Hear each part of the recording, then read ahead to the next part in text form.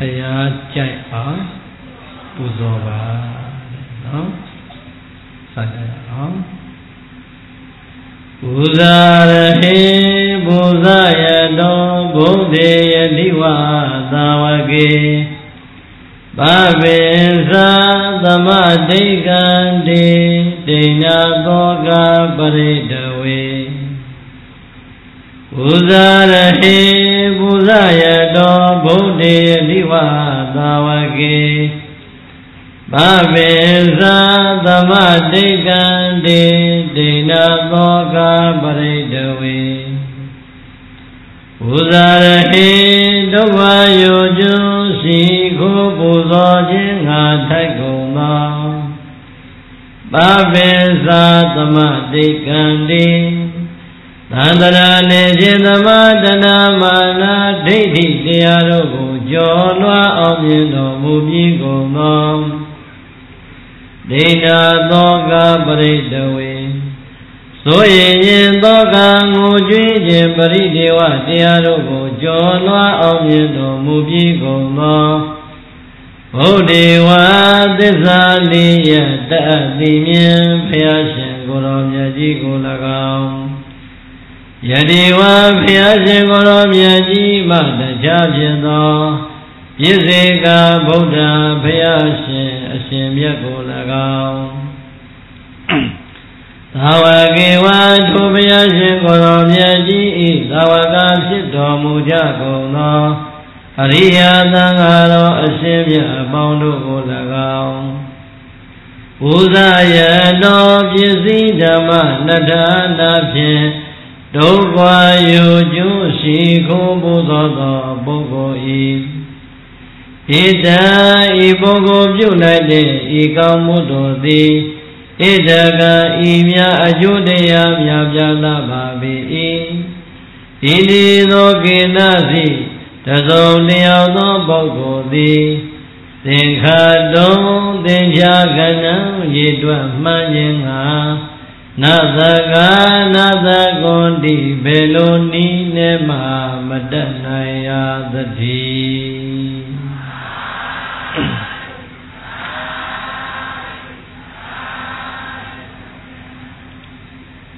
သေတိုင်ဟောရိလောကကြီးထဲမှာပူဇော်နေကြတဲ့ပူဇော်ခံပုဂ္ဂိုလ်တွေထဲမှာအလုံးတို့ဗုဒ္ဓဘာသာဝင်သူတော်စင်ပေါင်းတို့ပူဇော်နေကြတဲ့ သုံးလောကထွတ်တာသဗ္ဗညုမြတ်စွာဘုရားရှင်တုပရိသရှင်တော်မြတ်ဘုရားကိုပူဇော်မနေဘူးလားအေးအလုံးတို့ဓမ္မဆွေတော်မျိုးတော်တွေပူဇော်နေတဲ့ဘုရားရှင်အဲ့ဒီဘုရားရှင်ကနေတရားဖြစ်တဲ့ပြည့်စေကဗုဒ္ဓဘုရားရှင်ရဲ့အေးအဲ့ဒီဘုရားနဲ့ပြည့်စေကဗုဒ္ဓကတရားဖြစ်လာတဲ့ မြတ်စွာဘုရားရဲ့သာတော်ရိယသံဃာတော်အရှင်မြတ်တွေရဲ့တဲ့ဟောဒီသုံးပါးသောပုဂ္ဂိုလ်သူပုဂ္ဂိုလ်မြတ်များကိုပြည့်စည်နဲ့ပူဇော်ခြင်းတရားဓမ္မနဲ့ပူဇော်ခြင်းလို့ခေါ်တဲ့ပူဇော်ခြင်းနှမျိုးနဲ့သာပူဇော်လိုက်ကြမယ်ဆိုရင်သိတဲ့ပူဇော်ခြင်းဘယ်နှမျိုးလဲဘာနဲ့ပါ ရည်စည်းနဲ့ပူဇော်ခြင်းတရားဓမ္မနဲ့ပူဇော်ခြင်းလို့ခေါ်တဲ့ပူဇော်ခြင်းနှမျိုးမှာနှမျိုးလုံးနဲ့ဖြစ်တယ်သမျိုးမျိုးနဲ့ဖြစ်တယ်ပူဇော်လိုက်ကြမယ်ဆိုရင်အဲဒီပူဇော်လိုက်တဲ့ပုဂ္ဂိုလ်တွေရလိုက်တဲ့ကောင်းကျိုးတရားတွေကိုလူတယောက်ကဖြစ်ပါစေနတ်တယောက်ကဖြစ်ပါစေနတ်တစ်ပါးကဖြစ်ပါစေမြမတစ်ပါးကဖြစ်ပါစေတကုရှင်တယောက်ကဖြစ်ပါစေ ဟောဒီလူတွေရတဲ့ကောင်းကျိုးဟာဟောဒီတော့အကျိုးတွေများတယ်ဟေးလို့ရေတွက်ပြမယ်ဆိုရင်ရေတွက်လို့ဘယ်လိုမှမကုန်နိုင်ပါဘူးသိတဲ့နားရှင်းရလားမြတ်စွာဘုရားရဲ့ပြည့်စေကဗုဒ္ဓရဲ့ယန္တာရှင်မြတ်တည်းရဲ့ဟောဒီဘုရားပြည့်စေကဗုဒ္ဓယန္တာရှင်မြတ်တို့ရဲ့ဂုံကိုယုံကြည်စွာအာယုပြုကြပြီးတော့အလုံးသောဒုရဓမ္မပေါင်းသူတော်ကောင်းနေ ပန်းရည်ချမ်းသတိဆွမ်းစသည်ဖြင့်ပြည့်စည်နဲ့ပူဇော်ခြင်းတွေပူဇော်လို့မနေဘူးလားမိမိတို့ရရှိတဲ့ဘုရားရှိခိုးအမျိုးမျိုးပရိတရားဒေသနာပဋ္ဌတရားဒေသနာစသည်တို့ဖြင့်ပကိုယ်တိုင်ရုပ်ပွားပြီးတော့ပူဇော်လို့မနေဘူးလားပူဇော်နေတယ်အေးအဆင့်ပြင်းနဲ့နောက်တစ်ဆင့်ပူဇော်ခြင်းနဲ့ကြည့်မယ်ဆိုရင်မြတ်စွာဘုရားဟောကြားတဲ့တရားနာစဉ်အတိုင်း ယုတ်တရားနတ်တရားမှာကိုယ်တိုင်ဝိပဿနာရှုပွားပြီးတော့ရောပူဇော်လို့မနေဘူးလားအေးအဲ့ဒီလိုပြည့်စည်နေပူဇော်ခြင်းတရားဓမ္မနဲ့ပူဇော်ခြင်းလို့ခေါ်တဲ့ပူဇော်ခြင်းနှမျိုးနဲ့ဖြစ်စေပူဇော်ခြင်းတစ်မျိုးနဲ့ဖြစ်စေပူဇော်လိုက်မယ်ဆိုရင်ပူဇော်လိုက်တဲ့ဒုဒဂရမပေါသူတော်ကောင်းတွေရရှိလာတဲ့ကောင်းကျိုးတရားတွေကို ဘယ်လူပဲနဲ့ဘယ်ပြမဘယ်တကူရှင်တယောက်ကမှရည်တွက်လို့မရနိုင်ပါဘူးအကျိုးတရားတွေမြောင်များစွာမရဘူးလားရတယ်ဟုတ်လားဒါယအလုံးသောဒုရရမမောင်းသူတော်ကောင်းသည်သည်ဒီဘဝလောကီလောကုတ္တရာကောင်းကျိုးတွေနေတိုင်းနေတိုင်းတိုးပွားစေဖို့ယံဘဝတန္တရာမှာအစဉ်တမ်းမြင်တဲ့ချမ်းသာ အစဉ်တမ်းမြင်တဲ့ဒုက္ခတွေဘုံဘဝတွေကိုရဖို့ရောက်ဖို့ရအတွက်သောလောကတတရှင်တော်မြတ်ဗျာနှင့်တကွတရားသံဃာယရနာမြတ်သုံးပါးရဲ့ဂုဏ်ကိုအာယုံပြုလို့နေတိုင်းနေတိုင်းပူဇော်လို့နေတယ်ပူဇော်မနေဘူးလားပူဇော်နေတယ်ဗုဒ္ဓဘာသာဝင်သူတော်စင်မှန်လာရင်ပရိသတ်ရဲ့သီတာနဲ့ကြည်တာ မြိုင်မြိုင်ဆိုင်ဆိုင်ဖြစ်တာနဲ့မြိုင်မြိုင်ဆိုင်ဆိုင်မဖြစ်တာသာပဲကွာလိမ့်မယ်အိမ်ကန်းတွေမှာတိုက်ခန်းတွေမှာကိုစီကိုစီဖရာကြောင်းဆောင်နေတော့ရှိမနေဘူးလားရှိနေတာပဲအဲ့ဒါပြိဿဘာလုပ်နေတာလဲပူဇော်နေတာဟောရင်မြတ်စွာဘုရားကိုနေ့စဉ်နေ့တိုင်းရေတွေပန်းနေဆွမ်းနေတယ်ပူဇော်နေတယ် သေသည်ကောင်းကောင်းနေနဲ့ပူဇော်နေတဲ့တရားဓမ္မတွေနဲ့ရွတ်ဆိုပြီးတော့ပူဇော်နေတယ်ရှုမှတ်ပြီးတော့ပူဇော်နေတယ်မိမိပူဇော်လိုက်ပြီးဆိုကြတဲ့ကပြိဿရည်ရွယ်ချက်ဟာကောင်းကျိုးရခြင်းလို့လားမရခြင်းလို့လားရခြင်းလို့ဟုတ်လားဒါကြောင့်ကောင်းကျိုးလိုခြင်းတဲ့လူတွေရသိရတတ်တဲ့ကောင်းကျိုးတွေပြည့်ပြည့်ဝဝရအောင်လို့တဲ့ ပူဇော်တဲ့နေရာမှာကိုယ်အကြိုက်မဟုတ်ဘဲနဲ့ဖရာအကြိုက်ပူဇော်တတ်အောင်လို့ဒီကနေ့ဒီတရားလေးကိုပြုပါတယ်ဟုတ်လားပူဇာရေတိဣမဓမ္မဒေသနာတထာဇေတဝနေဝိဟာရံတောဟောဒီပူဇာရေအစရှိသောဂါထာတော်မြတ်ဖြင့်တသဆင်လိုက်တဲ့ဒီတရားဒေသနာတော်မြတ်ကိုသုံးလောကဒေါတာသဗ္ဗညုရှင်တော်မြတ်ဖျား သာဝတိပြေမွန်ဇေတော်ရွှေကြောင်းမှာကိအောင်မွေလျောတည်င်းသုံးလို့စံတော်မူတဲ့အချိန်တဏီသောအချိန်မှာယဟန်တော်ပေါင်းများစွာနောက်ပါခြံရ၍ခရီးဒေသစာရီကြွတော်မူလို့လာခဲ့ပါတယ်။သိတဲ့ဘုရားရှင်ကိုတော်မြတ်ဘေကနေဒေသစာရီကြွလာပြီလေ။ သာဝတိပြေမောဇေတောရွှေကြောင်းကထွက်သွားလို့ဘုရားရှင်ဒေသစာရင်ကြွချီတော်မူလာလိုက်တာ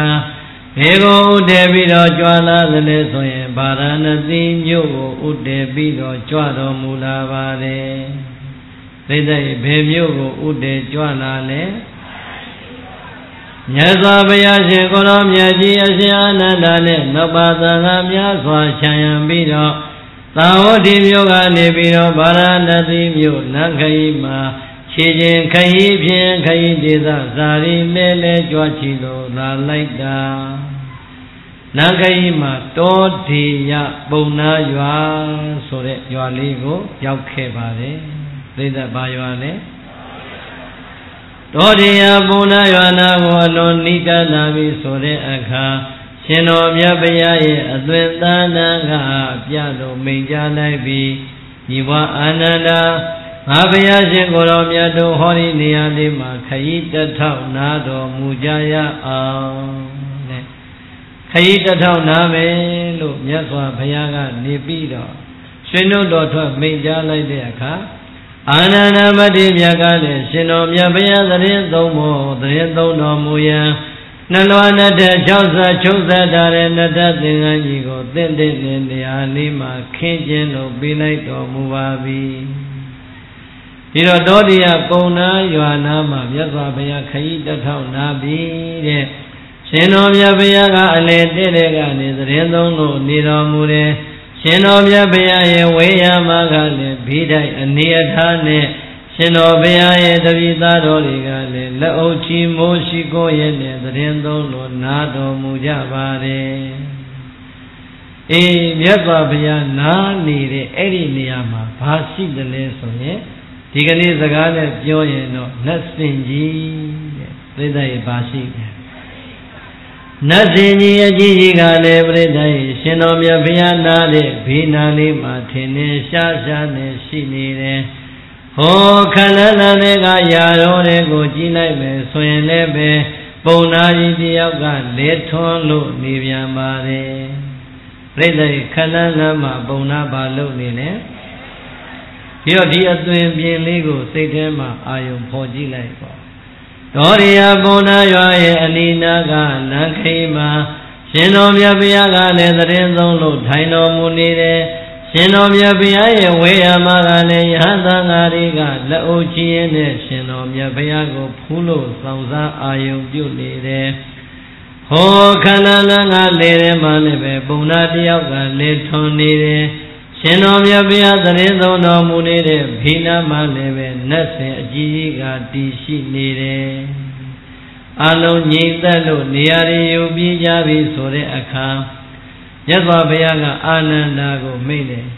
ဟဲ့ညီပွားအာနန္ဒာဟိုခန္ဓာနာမှာလေထောနေတဲ့ပုံနာကြီးကိုသင်ချစ်သားမြည်ရဲ့လားလို့မြတ်စွာဘုရားကလက်ဆန့်တန်းပြီးတော့ပုံနာရှိရာညွှန်ပြလိုက်တဲ့အခါအရှင်အာနန္ဒာမတ္တိမြတ်ကလည်းပြန်ပြီးတော့လျှောက်တော်မူတယ်နောက်ပါယနာသံဃာတော်မြတ်တွေကလည်းလျှောက်တော်မူတယ်မလဘဘုံတော်ကြီးတော်မူသောမြတ်စွာဘုရား တပည့်တော်တို့အားလုံးလက်ထွန်နေတဲ့ပုံနာကိုမြင်ကြပါတယ်ဖရာ။ရောမြတ်စွာဘုရားကအာနန္ဒာကိုမိတ်နေညီငယ်တဲ့အဲ့ဒီလက်ထွန်နေတဲ့ပုံနာကြီးစီကိုသွားပြည့်ရင်မင်းကိုငါမှားလိုက်မယ်။ဘုမတို့ဂေါရမမြတ်စွာဘုရားရှင်ခိတ္တခရီးတစ်ထောင်နားနေတယ်။ပုံနာကြီးကိုတွေ့ခြင်းလို့မြတ်စွာဘုရားကအခေါ်ဖိတ်ပါတယ်လို့သွားပြောစမ်းကွာ။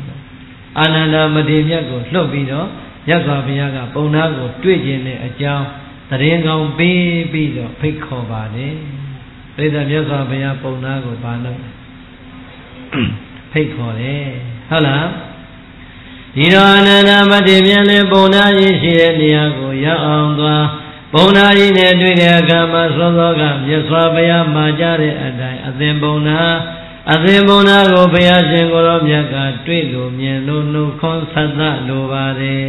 လို့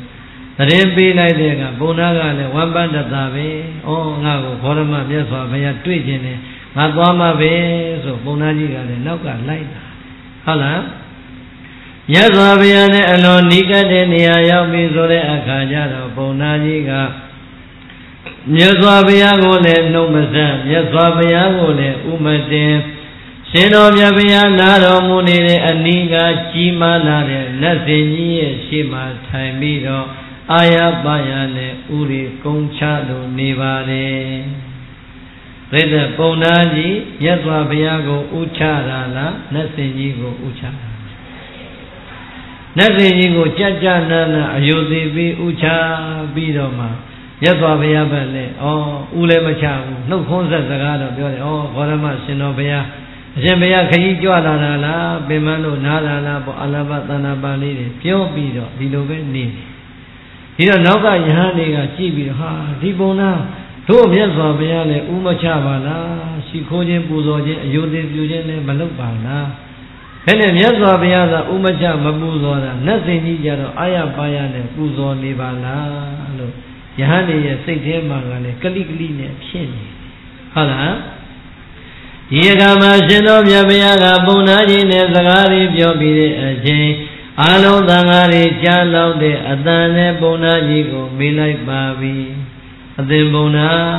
ငါဘုရားသင်ကိုမေးပါအောင်မယ်မင်းစောစောတုန်းကဟောဒီနတ်စင်ကြီးမှာမင်းရိုးရိုးသေးသေးနဲ့ဥချပြီးတော့ပူဇော်နေတာကွာတဲ့မင်းဘာကိုရည်မှန်းပြီးတော့ပူဇော်တာလဲမြတ်စွာဘုရားကမေးတယ် သိတဲ့ပုံနာဘာကိုဥချတာလဲသင်္ဘောနာနတ်စင်ကြီးကိုယိုသေးစွာဥချပြီးတော့ပူဇော်နေတာဘာကိုရည်မှန်းပြီးတော့ပူဇော်နေတာပါလဲရှင်တော်မြတ်ဘုရားရဲ့မိဂုံဆုံးတဲ့အချိန်ပုံနာကြီးကလည်းပြန်ပြီးတော့ဖြေပါတယ်။အိုဂေါရမနွယ်ဘွားရှင်တော်မြတ်ဘုရားဟောဒီနတ်စင်ကြီးတွေကျွန်တော်တို့ရဲ့အဖိုးတွေအဖွားတွေအဖေတွေအမေတွေလက်ထက်ကလေးက ဇီရိအဖြစ်နဲ့အစဉ်လာကိုယ်ကွယ်ပူဇော်လာတာဖြစ်ပါတယ်။ဒါကြောင့်ကျွန်တော်ဒီနတ်စင်ကြီးရဲ့ရှင်မထိုင်ပြီးတော့အယုံစီပေးလို့ပူဇော်ခြင်းသည်ဇီရိအဖြစ်နဲ့အာယုံပြုပြီးတော့ပူဇော်ခြင်းဖြစ်ပါတယ်။သိသိဘာဖြစ်နေရည်မှန်းပူဇော်တာလဲဇီရိအဖြစ်နဲ့ရည်မှန်းပြီးတော့ပူဇော်တာဒီတော့မှ မြတ်စွာဘုရားကပုံနာကြီးစကားဆုံးတဲ့အချိန်သာဓုသာဓုသာဓုပုံနာတဲ့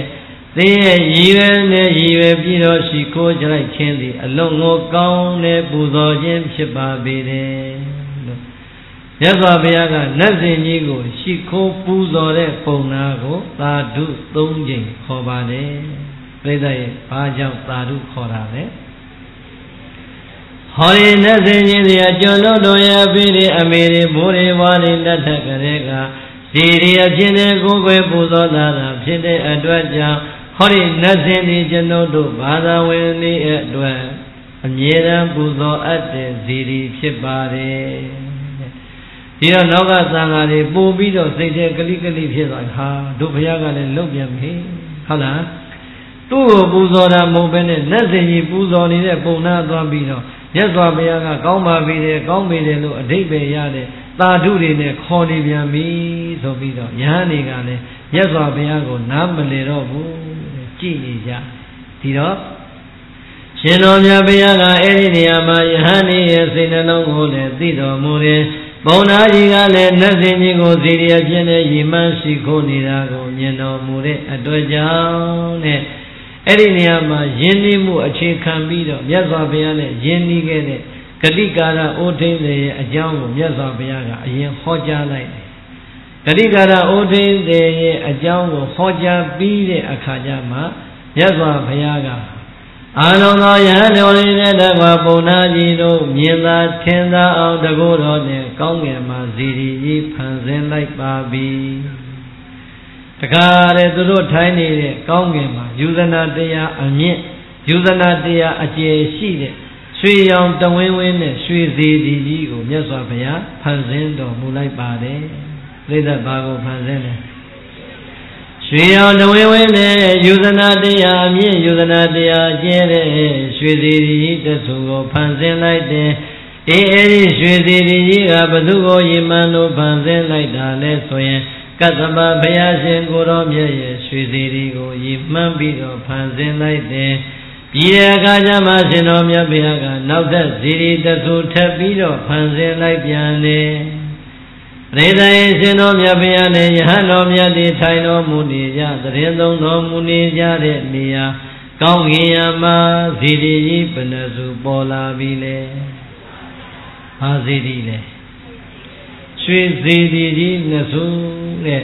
ရွှေရောင်တဝင်းဝင်းနဲ့ဇီရီကြီးနှစ်စုကောင်းကင်ယမှာဖန်ဆင်းပြပြီးတဲ့အချိန်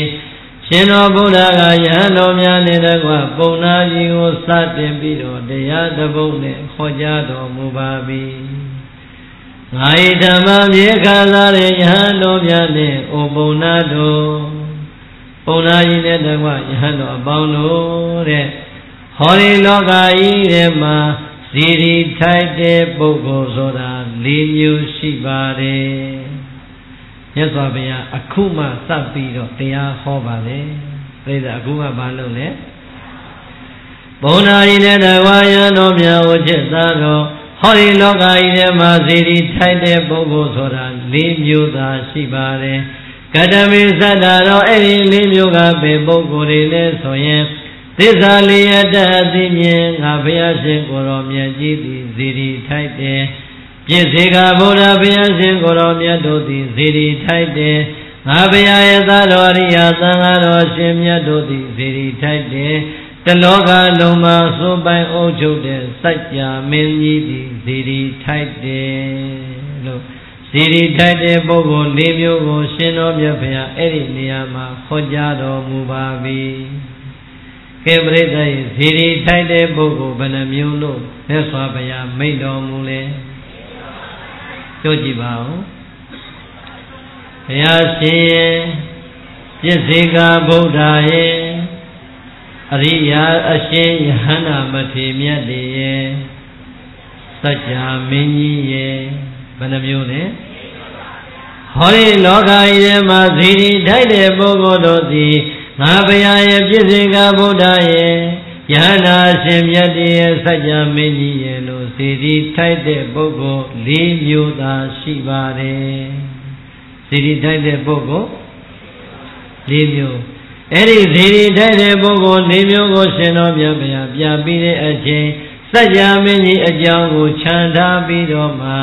ငါဘုရားနဲ့တကွာပြည့်စေကဗုဒ္ဓအရှင်မြတ်ဒီဟန္တာအရှင်မြတ်တွေကိုရည်မှန်းပြီးတော့ဇီရီတင်းမယ်ဆိုရင်လည်းအဲ့ဒီဇီရီကဟောဒီလောကကြီးထဲမှာ၄မျိုးသာရှိပြန်ပါတယ်လို့မြတ်စွာဘုရားနံပါတ်1မိလိုက်တာကဇီရီထိုက်တဲ့ပုဂ္ဂိုလ်၄မျိုးဇီရီထိုက်တဲ့ပုဂ္ဂိုလ်၄မျိုးကိုရည်မှန်းပြီးတော့ဒီလောကကြီးမှာပူဇော်ကြမယ်ဆိုရင် ဇေဒီဟာလည်းပဲပြိဿရဲ့ဘယ်နှမျိုးပဲ꿰တယ်၄မျိုး꿰တယ်မြတ်စွာဘုရားကိုကိုးစားပြုမယ်ဆိုရင်လည်းဇေဒီ၄မျိုးသာရှိပါတယ်ပြည့်စေကဗုဒ္ဓကိုကိုးစားပြုမယ်ဆိုရင်လည်းဇေဒီ၄မျိုးသာရှိပါတယ်ယဟန္တာရှင်မြတ်တွေကိုကိုးစားပြုမယ်ဆိုရင်လည်းဇေဒီ၄မျိုးသာရှိပါတယ်ဆိုတဲ့အကြောင်းရှင်တော်မြတ်ဘုရားဆက်၍ဆက်၍ဟောတော်မူပြန်ပါတယ် ဒီတော့ကျုပ်တို့ဒီကနေ့ညပြောမှာကရှင်တော်မြတ်ဘုရားကိုရည်မှန်းပြီးတော့ပူဇော်လိုက်မယ်ဆိုရင်ဇီတိဘယ်နှမျိုး꿰သွားဒီဇီတိ၄မျိုးလောက်ကတော့ကြောက်တန်းပြိဿကနှစ်တိုင်းတရားပွဲ15ပွဲလောက်ကျင်းပနေကြတာဆိုတော့သိတော့ပါကဲဇီတိ၄မျိုးတွက်ကြည့်ရအောင်မိသက်တန်ခါပဲကျဲတာလားခမရတို့သာတိုးတာလားမကြုတ်တော့မကြကဲနံပါတ်1ပါဇီတိ ဓာတုဇေတိယေဓမ္မဇေတိယေဥဒိသဇေတိယေပရိဘောဂဇေတိယေဓာတုပရိသတ်နားထဲမှာကောင်းကောင်းသိမနေဘူးလားအဲ့ဒီဇေတိ၄မျိုးဟာပရိသတ်ရဲ့ဘသူကိုကိုစားပြုပြီးတော့ဖြစ်ပေါ်လာတာမြတ်စွာဘုရားရှင်ကိုကိုစားပြုပြီးတော့ဇေတိ၄မျိုးပေါ်လာတယ် ပြည့်စေကဗုဒ္ဓယန္တာတွေကိုကိုစားပြုမယ်ဆိုရင်လည်းဇီရီနဲ့တွက်မယ်ဆိုရင်ဒီ၄မျိုးသာရှိပါမယ်ဟုတ်တယ်မဟုတ်လားဒီတော့မြတ်စွာဘုရားဟောဒီတရားကိုပုံနာနဲ့ယဟန်တွေကိုဟောနေတာဘသူကိုဟောနေတာလဲဒါဆိုရင်ပြိဿရဲ့ဇီရီထိုက်တဲ့ပုဂ္ဂိုလ်ကဘယ်နှမျိုးရှိလဲပြန်တွက်ကြည့်ရအောင်မြတ်စွာဘုရားရဲ့ပြည့်စေကဗုဒ္ဓရဲ့ ယဟန္တာရဲ့စัจ जा မင်းရဲ့ရပြီနော်ဒါဆိုရင်စัจ जा မင်းကြီးကိုခြံထားပြီးတော့ဘုရားပြည့်စေကဗုဒ္ဓယဟန္တာရှင်မြတ်တွေကိုကိုစားပြုလိုက်လို့ဇီဒီထွက်လာမယ်ပေါ်လာမယ်ဆိုရင်ပြိဿရဲ့ဇီဒီဘယ်နှမျိုးရမလဲဓာတုဇီဒီရဲ့ဓမ္မဇေတိယေဩဒိတဇေတိယေပရိဘောဂဇေတိယေဒီတော့ ဇေတိဇေတိနဲ့ဒုပရိသတ်ပြောမနေဘူးလားရွှေတကုံမြတ်စွာဘုရားကြီးကိုကပည့်တင်လိုက်တော့ဘယ်လိုခေါ်မလဲရွှေတကုံဇေတိရွှေဘုံဝဲဘုရားကြီးကိုဝိသေသတင်လိုက်တော့ဘယ်လိုခေါ်မလဲရွှေဘုံဝဲဇေတိဘုဒ္ဓထောင်ဘုရားကြီးကိုခေါ်လိုက်တော့ဘုဒ္ဓထောင်ဇေတိမခေါ်ဘူးလားဘသူကိုကိုစားပြုထားလဲ မြတ်စွာဘုရားကိုကိုစားပြုထားတယ်ဒါဆိုရင်ရွှေတကုံရဲ့နောက်မှာဇေဒီပါတယ်ရွှေဘုံမွေရဲ့နောက်မှာဇေဒီပါတယ်ဘုဒ္ဓတော်ရဲ့နောက်မှာဇေဒီပါတယ်ဓာတုဓမ္မဥဒိတပရိဘောဂတို့ရဲ့နောက်မှာဇေဒီပါတယ်တဲ့ဇေဒီဇေဒီဆိုတဲ့ဇာကပြိဿရဲ့ခိုးငယ်ငယ်လေးတွေကမကြခဲ့ဘူးလားကဲဒါဆိုရင်မေးပါရစီဘာကြောင့်ဇေဒီလို့ခေါ်တာလဲ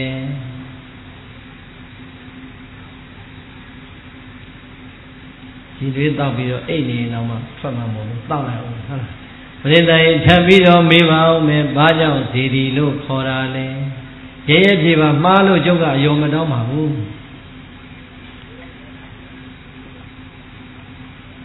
ကဲတခါကြီးဘာကြောင့်စီဒီလို့ခေါ်တာလဲသဝေတေဥသာလွန်ရင်စေတဝဲမွေလုံကြီးတင်ဆံကတီလို့ရေးထားလို့စီဒီလို့ခေါ်ပါတယ် ဇေဒီဇေဒီနဲ့ကျွတ်တို့အလုံးပြောမနေဘူးလားကျွတ်တို့လူကြီးတွေကလည်းပြောနေတယ်လူကြီးတွေပြောတော့ကလေးတွေရောမပြောဘူးလား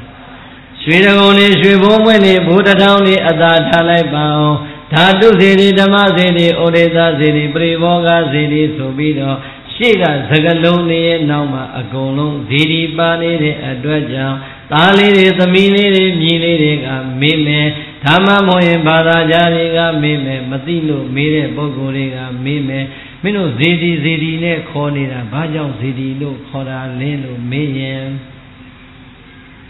အရှင်ဘုရားအရှင်ဘုရားကိုတပည့်တော်တို့အညောင်းခံပြီးတော့စောင့်နေတာအဲ့ဒါတွေသိကျင်လို့စောင့်နေတာပါကိုတရားကိုဆံဟောပါမေ့မနေပါနဲ့ဘုရားအဲ့လိုပဲရှောက်ချင်တာပဲမဟုတ်ဘူးလား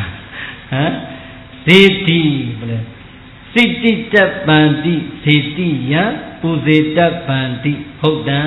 နဲ့ဒီကမှာဒီတိုင်းမေ့ပြိဿ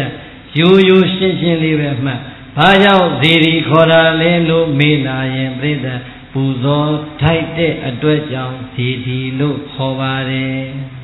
ဘာကြောင့်ဇေဒီလို့ခေါ်တယ်ပူဇော်ထိုက်တဲ့အတွက်ကြောင့်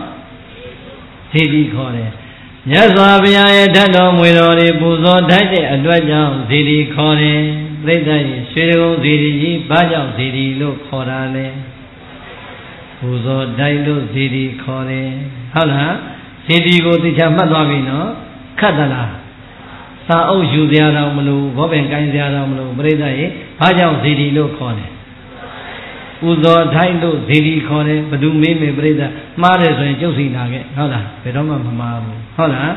ဒါဆိုရင်ပူဇော်ထိုက်တဲ့အတွက်ကြောင့်ဇေဒီခေါ်တယ်ဆိုရင်ကျွတ်တော်မြတ်စွာဘုရားကိုကိုးစားပြုလိုက်တဲ့ပူဇော်ထိုက်တဲ့ဇေဒီတွေဟောဒီလောကမှာဘယ်နှမျိုး꿰သွားသလဲ၄မျိုး꿰တယ်တဲ့ဒါဆိုရင်အလုံးသောတို့တရားဓမ္မပေါင်းသူတော်ကောင်းနေ မိမိတို့ရဲ့အိမ်တိုင်းအိမ်တိုင်းမှာမြတ်စွာဘုရားရဲ့ကိုယ်စားရုပ်ပွားတော်တွေမရှိဘူးလား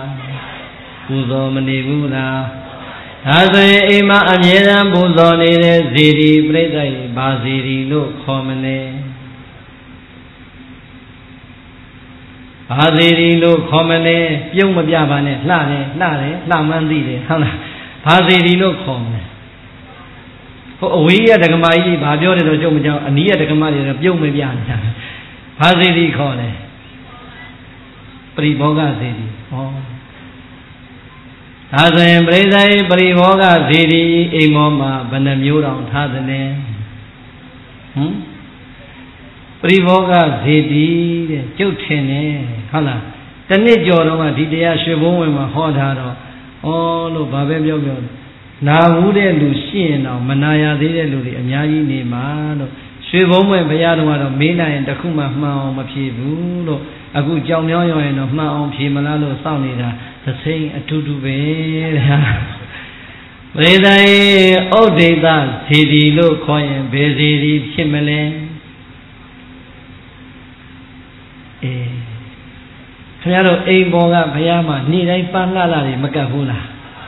ပန်းလာလာတွေလည်းကတ်နေတယ်သစ်သီးကောင်းကောင်းတွေလည်းကတ်နေတယ်ဆွမ်းနေရည်ချမ်းတွေလည်းကတ်နေတယ်အောင်မလေးနေတိုင်းကိုကတ်နေတဲ့ဒီဘုရားတော်မှာဇီရီလေးမျိုးထဲမှာဘာဇီရီလဲလို့မသိဘူးလေဆိုတော့အမလေးသိဖို့သာကောင်းတော့တာပဲပူဇော်တော့ပူဇော်မနေဘူးလားနေ့တိုင်းမပူဇော်ဘူးလားတခါတခါများဟိုဘက်အခန်းဒီဘက်အခန်းကတ်နေရဲ့ဟိုဘက်ကမကြိုက်တဲ့လူဒီဘက်ကကြိုက်တယ်ဩဃာသာဩဃာသာဩဃာသာ ကြီးစီတနောင်နောင်ထုံးနေဟိုဘက်ကအေးမောတဲ့တော့ဒေါတွေကန်တယ်သာတို့မခေါ်နဲ့ဟုတ်လားပြိဿတွေသူများမုံတော့အောင်ကိုမပူဇော်ဘူးလားပူဇော်နေတာနေ့တိုင်းလားခဏလေးလားမနေ့အခုပူဇော်တာအားမရလို့ဒီမှာကျွတ်တို့တရားဟောတဲ့မန္တထဲတော့လာပြီးတော့ပူဇော်မထားဘူးလားပူဇော်ထားတယ်ဘာစီတီလဲဟောအခုလက်ကုပ်လိုက်မှဆင်ပြေသွားပြီဟုတ်လားဥဒိတပရိသတ်ရီမှန်းပြီးတော့ပူဇော်တာလေ ဟုတ်တယ်မို့လား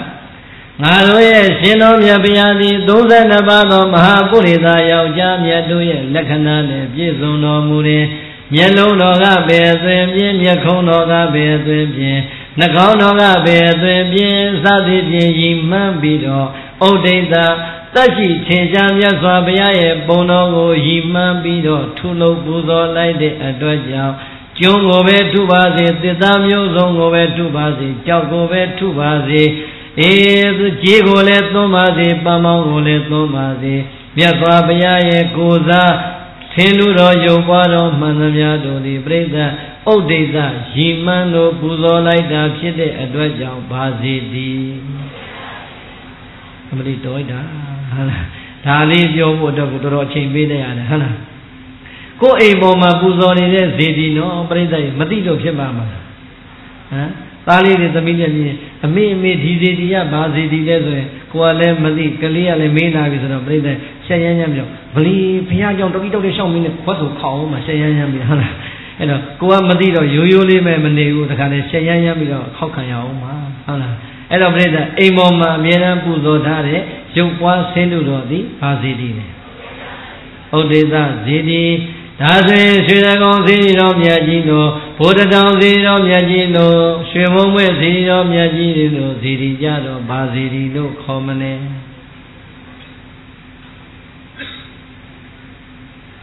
ဘာစီရီလို့ခေါ်မလဲဘုန်းကြီးကိုမျက်နှာလွှဲတာကြည့်ချင်ဘူးအောက်တက်ကရတွေတိတ်မေးတာပဲပြိဿရေဓာတုကိုယ့်အကူပဲဖြေပေးတာကောင်းတယ်ဟုတ်လားဟမ် ဓာတုဇေတိဆိုတာဒုပရိသရှင်းသွားဘူးလားဘာလို့ရှင်းသွားလဲရှင်တော်မြတ်ဘုရားရဲ့အသွေးတော်အသားတော်အယုတော်ဖြစ်လာတဲ့ဓာတ်တော်မွေတော်မှန်သမျှတွေကိုထပ်ပနာသွင်းပြီးတော့မှဟောဒီနေရာမှာငါတို့ရဲ့ရှင်တော်မြတ်ဘုရားတရင်သုံးတော်မူတဲ့ဩဒေကိုပုံအင်္ဂရိတွေနဲ့ထုလုံးထားပြီးတော့ရွှေသင်္ကန်းတဝင်းဝင်းကတ်ထားပြီးမြဲအေးငါတို့သည်ဥပ္ပုံကြီးကိုရှ िख ိုးတာမဟုတ်ဘူး ဒီဥပ္ပုံကြီးထဲမှာဌာပနာသွင်းထားတဲ့ငါတို့ရဲ့ဖယားရှင်ကိုတော်မြတ်ကြီးရဲ့ဓာတ်တော်မွေတော်တွေကိုပူဇော်နေတာဟုတ်တယ်မို့လားဒါကြောင့်ဓာတ်တော်မွေတော်တွေဌာပနာသွင်းပြီးတော့ပူဇော်လိုက်တော့ရွှေတကုံဇေဒီကြီးဒီပြိဿရဲ့ဘာဇေဒီဖြစ်သွားဓာတုဇေဒီဓာတုဇေဒီဓမ္မဇေဒီဩဒေသဇေဒီပရိဘောဂဇေဒီ ဇီရီလေးမျိုးရှိတဲ့နေရာမှာဒုပရိသတ်အခုဇီရီဘယ်နှမျိုးကိုသိသွားပြီလဲဘယ်နှမျိုးကြံသေးလဲဒါဆိုရင်ပြိဿတ်ဓမ္မဇီရီဆိုတာဘယ်လိုဇီရီလဲ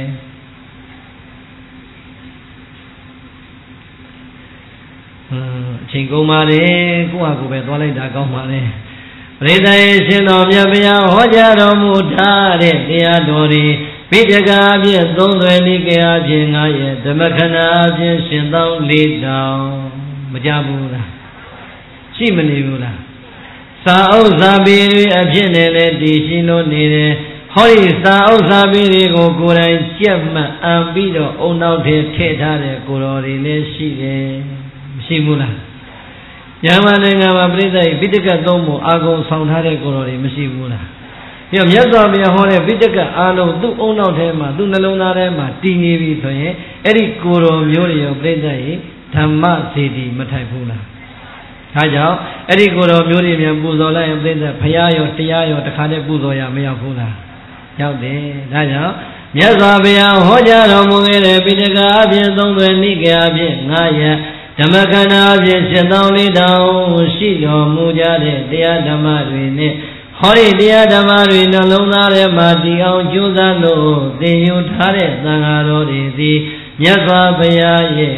ကိုစားဓမ္မစီတီထိုက်တော်မူပါတယ်။ဘာစီတီထိုက်လဲဓမ္မစီတီထိုက်တယ်ပြိဿရဲ့ဟုတ်လားဒါဆိုရင်ဓာတုစေတီဓမ္မစေတီဩဒိသစေတီပရိဘောဂစေတီတဲ့ဘာစေတီကြံသေးလဲ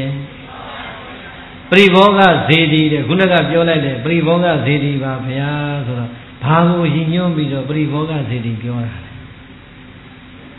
မြတ်စွာဘုရားရဲ့ကိုယ်စားရုပ်ပွားတော်ကိုပရိဘောဂဇေဒီလို့ပြောတယ်ဘာကိုရည်ညွှန်းပြီးတော့ပြောတာလဲသူတို့စိတ်ထဲမှာထုလုပ်ထားတဲ့အတွက်ကြောင့်လို့များထင်သလားမသိဘူးဟုတ်လားမမှန်လိမ့်စမ်းပါထထုတာဟာထုတာပဲထုပေမဲ့ပြိဿရဲ့ထုနေတဲ့ပုံက တာမန်လူတယောက်ရဲ့ပုံလားမြတ်စွာဘုရားကိုရည်မှန်းပြီးတော့ထုနေတာအဲ့ဒါပရိဘောဂမဟုတ်ဘူးဥဒိဋ္ဌဇေဒီပရိဘောဂဇေဒီဆိုတာပြိဿရဲ့ဘာကိုရည်ညွှန်းတာအဲတွေ့မယ်တွေ့မယ်တရားလေးတဏှာကြီးဝဲလောက်မေဇိမပฏิပဒါဟောမယ်လို့စိတ်ထဲမှာမှန်ထားတာသေဖို့သာပြင်းနှစ်နာရီခွဲမှတရားဖြုတ်မှာ မေးလိုက်ရင်ဘာမှမသိပရိဘောဂဇေတိဆိုတာပရိဘောဂဆိုတာအသုံးအဆောင်ကိုပြောတာသိတဲ့ဘာကိုပြောတာလဲမြတ်စွာဘုရားသုံးဆောင်တော်မူခဲ့တဲ့အသုံးအဆောင်သင်္ကန်းသပိတ်ပရိက္ခရာဖြစ်ပြရည်ဒီစီရီထိုက်တဲ့မြတ်စွာဘုရားသတင်းသုံးတော်မူခဲ့တဲ့ဇေတောကျောင်းတိုက်တဲ့ကခန္ဓာကုတိကျောင်းတော်ရာစီစီရီထိုက်တဲ့ မြတ်စွာဘုရားဘုရားဖြစ်တော်မူပြီးတဲ့အချိန်ခုနှစ်ရက်တိုင်တိုင်သမပဝင်စားတော်မူခဲ့တဲ့ပန်လင်ကသတ္တဟာတည်ရှိရာဘောရိညောင်မင်းကြီးသည်လည်းပဲဇီရီထိုက်ပါတယ်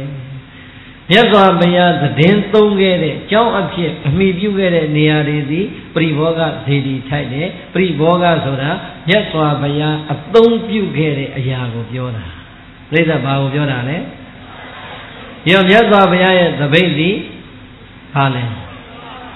မြတ်စွာဘုရားသုံးခဲ့တဲ့ရည်စစ်သည်မြတ်စွာဘုရားသုံးခဲ့တဲ့တောင်ဝင်းသည်မြတ်စွာဘုရားဝတ်ယုံခဲ့တဲ့သင်္ကန်းသည်ကျွတ်တို့ရွှေဘုံစီတီမှာဘုရားလေးစုရဲ့ဘာတွေသဗ္ဗနာထားတယ်လို့ကြားဘူးလေမကြားဘူးရင်ရှားတာဖတ်တော့ဟုတ်လားအဲ့တော့ပြောလိုတာကပြိဿမြတ်စွာဘုရားရဲ့အသုံးအဆောင်မှန်သမျှသည်ဘာစီတီထိုက် မြန်မာနိုင်ငံမှာမြတ်စွာဘုရားရဲ့ပရိဘောဂစီတီထင်ထင်ရှားရှားနဲ့ပူဇော်နေတာပြိဿမြန်မာပူဇော်တယ်ပရိသတ်မြတ်စွာဘုရားရဲ့အသုံးအဆောင်ကိုရည်မှန်းပြီးတော့ပူဇော်တဲ့နေရာမှာကဆုံလာပြည့်နေ့ရောက်တဲ့အခါကျတော့ဘာလုပ်ကြသလဲဟမ်ကဆုံညောင်ရည်သွန်းတဲ့ဘယ်နေရာမှာသွားပြီးတော့သွန်းကြတာလဲဘာဖြစ်လို့လောင်ကြတာလဲ ဘာဖြစ်လို့လောင်တာပရိဘောဂဇေတီထိုက်တယ်ဆိုပြီးတော့ရည်မှန်းပြီးတော့ပူဇော်တာဟုတ်လားနွေရာသီပူလွန်တဲ့အတွက်ကြောင့်ညောင်မင်းကြီးသေမာကြောက်လို့ရေလောင်းတာမဟုတ်ပါဘူးမြတ်စွာဘုရားရှင်ကိုယ်တော်မြတ်ကြီးသည်ဘောဓိပင်အောက်သာရွှေပလင်းတော်ပေါ်မှာဘောဓိပင်ကြီးကိုအရေးအဝါသကြောင်းအဖြစ်နဲ့သတင်းသုံးမိခိုပြီးတော့မှခုနှစ်ရက်တိုင်တိုင်ဖလားသမပဝင်စားတော်မူခဲ့ပါတယ် အေးအဲ့ဒါကိုယမှန်းပြီးတော့ဘောဓိပင်ဒီပြိတ္တယဘာစီရီထိုက်တယ်လေပရိဘောဂဇေဒီအဖြစ်နဲ့ဒုပရိသတ်ကညောင်ရည်သွန်းလောင်းပြီးတော့အေးစေဖို့မြစေဖို့မပူဇော်ဘူးလားပူဇော်တယ်အမလေးဗျာအထင်ကြီးကြီးပြီးတော့ဟောနေတာဇေဒီလေးမျိုးရှင်းတာလည်းကိုတရားတော်တော်ချိန်ကုန်သွားပြီကဲပရိသတ်ရဲ့ဇေဒီထိုင်တဲ့ပုဂ္ဂိုလ်ဟောဒီလောကကြီးထဲမှာဘယ်နှမျိုးရှိလဲ ဘယ်ပုဂ္ဂိုလ်တွေဇေဒီထိုင်တယ်အရာပြည့်စေကဗုဒ္ဓယာနာနဲ့စัจ जा မင်းကြီးတို့သည်ဇေဒီထိုက်တယ်အေးအဲ့ဒီတည်းမှာမြတ်စွာဘုရားဒီသုဒ္ဓမှာတော့စัจ जा မင်းကြီးအကြောင်းကိုခြံထားပါတယ်ငါဘုရားနဲ့တကွာပြည့်စေကဗုဒ္ဓယဟနာတွေကိုကိုးစားပြုပြီးတော့ဇေဒီအပြည့်နဲ့ကိုယ်ွယ်ပူဇော်ကြမယ်ဆိုရင်လည်းပဲဓာတုဇေတိဓမ္မဇေတိဩဒေသဇေတိပရိဘောဂဇေတိရဲ့လို့ ဇေတိလေးမျိုးပြပြီးတော့ပူဇော်နိုင်ကြပါတယ်ဒုပရိသဒီလောကကြီးထဲမှာဇေတိ၄မျိုးလုံးပူဇော်ခွင့်ရမနေဘူးလားပူဇော်ခွင့်ရနေတယ်ဆိုပြိဿရွှေတကုံဇေတိကိုနေတိုင်းရောက်သလားဘယ်ဇေတိနဲ့နေတိုင်းတွေ့နေလဲဟမ်မိမိရဲ့အိမ်ဥပမာပူဇော်ထားတဲ့ဘာဇေတိ ဩဒေသာစေရီလို့ခေါ်တဲ့မြတ်စွာဘုရားရဲ့ကိုယ်စားရုပ်ပွားဆင်းရဲတော်မြတ်လေကတော့နေတိုင်းနေတိုင်းဖူးတွေ့ခွင့်ရနေတယ်ပူဇော်ခွင့်ရနေတယ်ဟုတ်တယ်မို့လားပူဇော်မနေဘူးလားဖရာကြိုက်အောင်ဘယ်လိုပူဇော်မလဲဟုတ်လားပြိဿရဲ့မြတ်စွာဘုရားရဲ့ကိုယ်စားစေရီလေးမျိုးကိုတော့ပူဇော်နေတယ်ဘယ်သူကမှငေါ့မခံရပါဘူးဘယ်သူကမှရိုက်မခံရပါဘူး အိမ်မှာဘုရားရှင်ကိုယ်တော်မြတ်ရှိမှအလိုလိုထူထောင်ညွတ်တွားပြီးတော့ပူဇော်နေကြတယ်ရွှေတကုံစီရီရောက်တယ်ဆိုရင်လည်းထူထောင်ညွတ်တွားပြီးတော့ပူဇော်နေကြတယ်ပပြိဿရေဘာကြောင့်ပူဇော်တာလဲလို့မေးရင်ပြန်ပြီးတော့ဖြေပါအောင်ဘာကြောင့်ပူဇော်တာလဲပူဇော်ထိုက်လို့ပူဇော်တာပူဇော်ထိုက်တဲ့အတွက်ကြောင့်ဇေဒီလို့ခေါ်တယ်ဆိုရင်ဘာကြောင့်ပူဇော်တာလဲလို့မေးရင် ပူဇော်ထိုက်လို့ပူဇော်တာဟုတ်လားဒါဆိုရင်ပြိဿရေအမြင်ကရင်ကပ်ပါတော့နောက်ထပ် question လေးတစ်ခုလောက်အောက်ပါအောင်မယ်ဘာကြောင့်ပူဇော်ထိုက်တာလဲသိဖို့မလိုအပ်ဘူးလားဒါလူတွေရဲ့နေ့တိုင်းဘဝထဲမှာကြုံနေတာကိုဦးသိန်းကရွေးဟောပေးတာပူဇော်နေတယ်ပူဇော်ထိုက်လို့ပူဇော်တယ်ဟုတ်ပြီပူဇော်ထိုက်တယ်ဆိုတာဘာကြောင့်ပူဇော်ထိုက်တာလဲ ပူဇော်ထိုက်တဲ့အကြောင်းအရာတွေရှိရမှာပေါ့မရှိဘူးလားကဲပူဇော်ထိုက်တဲ့အကြောင်းအရာတွေမပြောတတ်ဘူးပူဇော်နေလိုက်ကြတာအခုပဲပြိဿကြီးဟောဒီငွေဖလားနှလုံးကိုကြည့်ပြိဿကဒီဘက်မှာနေတာဆိုပန်းဘယ်ဘက်မှာညွတ်ထားတယ်ဘယ်ဘက်ညွတ်ထားလဲဒီပန်းကဘုန်းကြီးပူဇော်တာလားဘုရားပူဇော်တာလားလူကိုပူဇော်တာလားဘုန်းကြီးကတော့အယိုးပဲမြင်ရတယ်ဟုတ်လား အယိုးနဲ့သဲမြေကြီးညစ်ပတ်တာပဲမြင်ရတယ်ပန်းလားလားမမြင်အောင်သူတို့ပဲကြည့်နေကြတယ်ကဲပြိဿစဉ်းစားကြည့်နော်ပူဇော်တိုင်းလို့ပူဇော်ပါတယ်လို့လည်းပြောတယ်ပူဇော်နေတာကလည်းဘုရားကိုပူဇော်တယ်လို့ပြောတယ်နေတိုင်းနေတိုင်းလည်းပန်းအကောင်းနေနဲ့အိမ်မှာပူဇော်နေတယ်မပူဇော်ဘူးလား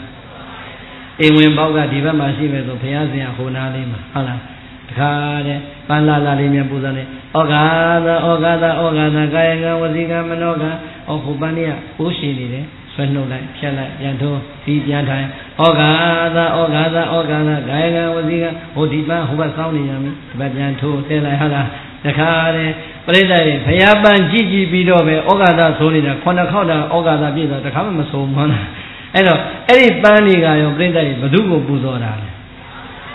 ဘုရားကိုပူဇော်တာ ဒါဆိုရင်မြတ်စွာဘုရားရဲ့ရွှေမျက်နှာတော်ဘက်မှာပန်းတွေကိုညွတ်ကိုင်းထားတာလားအိမ်လာရင်ဒါသမျှဧည့်သည်တွေမြောင်ဧကံဘက်ကိုညွတ်ကိုင်းထားတာလားပူဇော်တာဘု து ပူဇော်တာလဲဘုရားအယိုးရသလားအပွင့်ရသလားဟာရလဲဟောအယိုးပဲရအပွင့်ဘယ်သူရလဲဟမ်ကြောင်းမြန်ကြီးနေဖြစ်မနေဘူးလား ဒါဆိုရင်ပရိသတ်ရေဘုရားကိုပန်းအနေနဲ့ပူဇော်တော့ကြောင်းမြန်ဖြစ်တယ်လို့မြတ်စွာဘုရားကိုပရိသတ်ရေသစ်သီးကောင်းကောင်းနေနဲ့ရောမပူဇော်ဘူးလားဟိုငါတို့မြတ်စွာဘုရားကြီးညိုဖို့ကောင်းလိုက်တာဟောဒီပန်းလေးအကြီးကြီးတွေကိုအလုံးလိုက်ကအောင်မှာဒါလည်းမပါခရင်လည်းမပါပန်းလေးကြီးတွေကြီးကြီးတဲ့အကြီးကြီးတွေပကံများတဲ့ထည့်ပြီးတော့ပူဇော်နေတာပြိဿ လူတယောက်လို့စဉ်းစားကြည့်ပေါ့ကျွတ်တို့မြတ်စွာဘုရားကြိုက်ပြီးတော့ဝါရတော့မှာလားဟမ်ပန်းလေးရတော့ထားမှာတော့နည်းနည်းအရွယ်သေးသေးတယ်တချို့သင်္ဘောကြီးအကြီးတွေအရှိလိုက်ကြီးတွေဘုရားကြီးကတ်ထားတာပြိဿမြတ်စွာဘုရားဘာနဲ့ခွဲမလဲဟမ်ဟဲ့ဟဲ့သင်္ဘောကြီးကအသိကြီးရှိသေးတယ်ဘုရားကတာဘုရားကတာမှဲ့မှမစွန့်စားအောင်ကျွတ်တို့ဘုရားတော်တော်ကြီးရတယ်ဟုတ်လားတခါတခါမြဘုရားကြောင်းတော်ပေါ်ကျမ်းနဲ့ကြီးလိုက်အသိအသိနေငပြောသည်ကောင်းလိုက်တာဒါပေမဲ့အသိကြီးသင်္ဘောကြီးအကောင်းလိုက်တာအသိကြီး စဉ်းစားတယ်သူတို့ဘယ်အချိန်ကျရင်ဘုရားကတ်မြောင်ဟောမှဲ့လဲမှဲ့ရောဟုတ်လားဧည့်သည်လာဒီဘုရားရှိရဟိုသင်္ဘောကြီးဆွန့်လိုက်တော့မှဲ့သွားပြီဟုတ်လားဘုရားလက်သက်တော့မမဲ့ခင်စောင့်ပေးရတာဟုတ်လားပြိဿကတ်တော့ကတ်မနေဘူးလားဖုံးမေးစီခြင်းတော့ကတ်တာလားဂုံကိုရင်မှန်းပြီးတော့ကတ်တာလားအလှပြပြီးကတ်တာလားပန်းလေးလေးတွေများကတ်ပြီးတော့ပြိဿအခွန်လေးခွာအစိတ်ကြီးကြီးလေးတွေများလှလှပပလေးကတ်ထားရင်ပို့မလှဘူးလား မလှဘူးသူတို့အလုံးလိုက်ပဲကတ်ထားတာအဲ့ဒီအလုံးကလည်းလေပန်းဒီမပုံမချင်းဘုရားရှိမှနေနည်းနည်းလေးအယောင်လေးပြောင်းဖြော့လာပြီဆိုမှစွန့်လိုက်တော့တဲ့နောက်ထပ်ကတ်ရင်ကတ်ဒါလေးကတော့စားမှဖြစ်တော့မှာဟုတ်လားပန်းဒီတော်တော်နွမ်းမှပဲသူတို့ဆွဲပြီးတော့ကတ်ပြီးစားလိုက်တာအဲ့တော့ပြိဿကတ်တော့ကတ်မနေဘူးလားပူဇော်နေတယ်ဘာကြောင့်ပူဇော်တာလဲပူဇော်ထိုက်လို့ပူဇော်တယ်ဘာကြောင့်ပူဇော်ထိုက်တာလဲလို့မေးလိုက်တာနဲ့ပြိဿကြီးတယောက်နဲ့တယောက်လက်ကုတ်လို့တယောက်နဲ့တယောက်ပြောနိုင်သေးလား ဘာကြောင့်ပူဇော်တိုက်တာလဲဘုဒ္ဓေဝဘုရားရှင်ပြည့်စေကဗုဒ္ဓအရိယာသံဃာယဟန္တာအရှင်မြတ်တွေသည်ပူဇော်ထိုက်တယ်တန္တရာနေချဲ့တဲ့တရားဆိုတာပြိဿယပပင်စတရားလို့ခေါ်တယ်။ဘာလို့ခေါ်လဲ။တန္တရာနေချဲ့သမပပင်စတရားဖြစ်ကြတဲ့တဏှာရဲ့မာနရဲ့ဒိဋ္ဌိရဲ့ ဒီသုံးမျိုးကိုမြတ်စွာဘုရားမှာကြော်လွှားနိုင်ခဲ့ပြီပြည့်စေကဗုဒ္ဓကြော်လွှားနိုင်ခဲ့ပြီယဟန္တာရှင်မြတ်တွေကြော်လွှားနိုင်ခဲ့ပြီရှင်းအောင်ပြောရရင်ဘုရားပြည့်စေကဗုဒ္ဓယဟန္တာမှာသန္တရာနေကျေသမတဏမာနာဒိဋ္ဌိတရားတို့ကိုကြော်လွှားအောင်မြင်တော်မူပြီးတဲ့ခုံနေနဲ့ပြည့်စုံတော်မူပါတယ်ပရိသေမြတ်စွာဘုရားမှာတဏှာရှိသေးလားမာနရှိသေးလား ဒိဋ္ဌိရှိသေးလားရှင်းရှင်းလေးနော်ဒါဆိုရင်မြတ်စွာဘုရားမှာတဏမာနာဒိဋ္ဌိတရားတွေမရှိဘူးဆိုရင်ကိုကိုကိုပြန်မေးကြည့်စမ်းပါငါမှာတတနာရှိသလားလို့မေးရင်ဘာပြန်ဖြေမလဲမာနရှိသလားဒိဋ္ဌိတဏမာနာဒိဋ္ဌိတရားဟာပြိဿလူရဲ့စိတ်ဓာတ်ကိုဖြူစင်စေသလားညှဉ်းနှွမ်းစေသလားညှဉ်းနှွမ်းစေတယ်ဟုတ်လား ကိလေသာတဏှာကျိုးတကြောင်အရစ်ခံရတဲ့အတွက်ကြောင့်အာလုံးသောဒုဒရဓမ္မပေါသူတော်ကောင်းတွေဟောဒီသာသမီဆွေမျိုးပစ္စည်းဥစ္စာနှောင်ကြိုးတွေနဲ့မခွာနိုင်မခွဲရဖြစ်နေတာ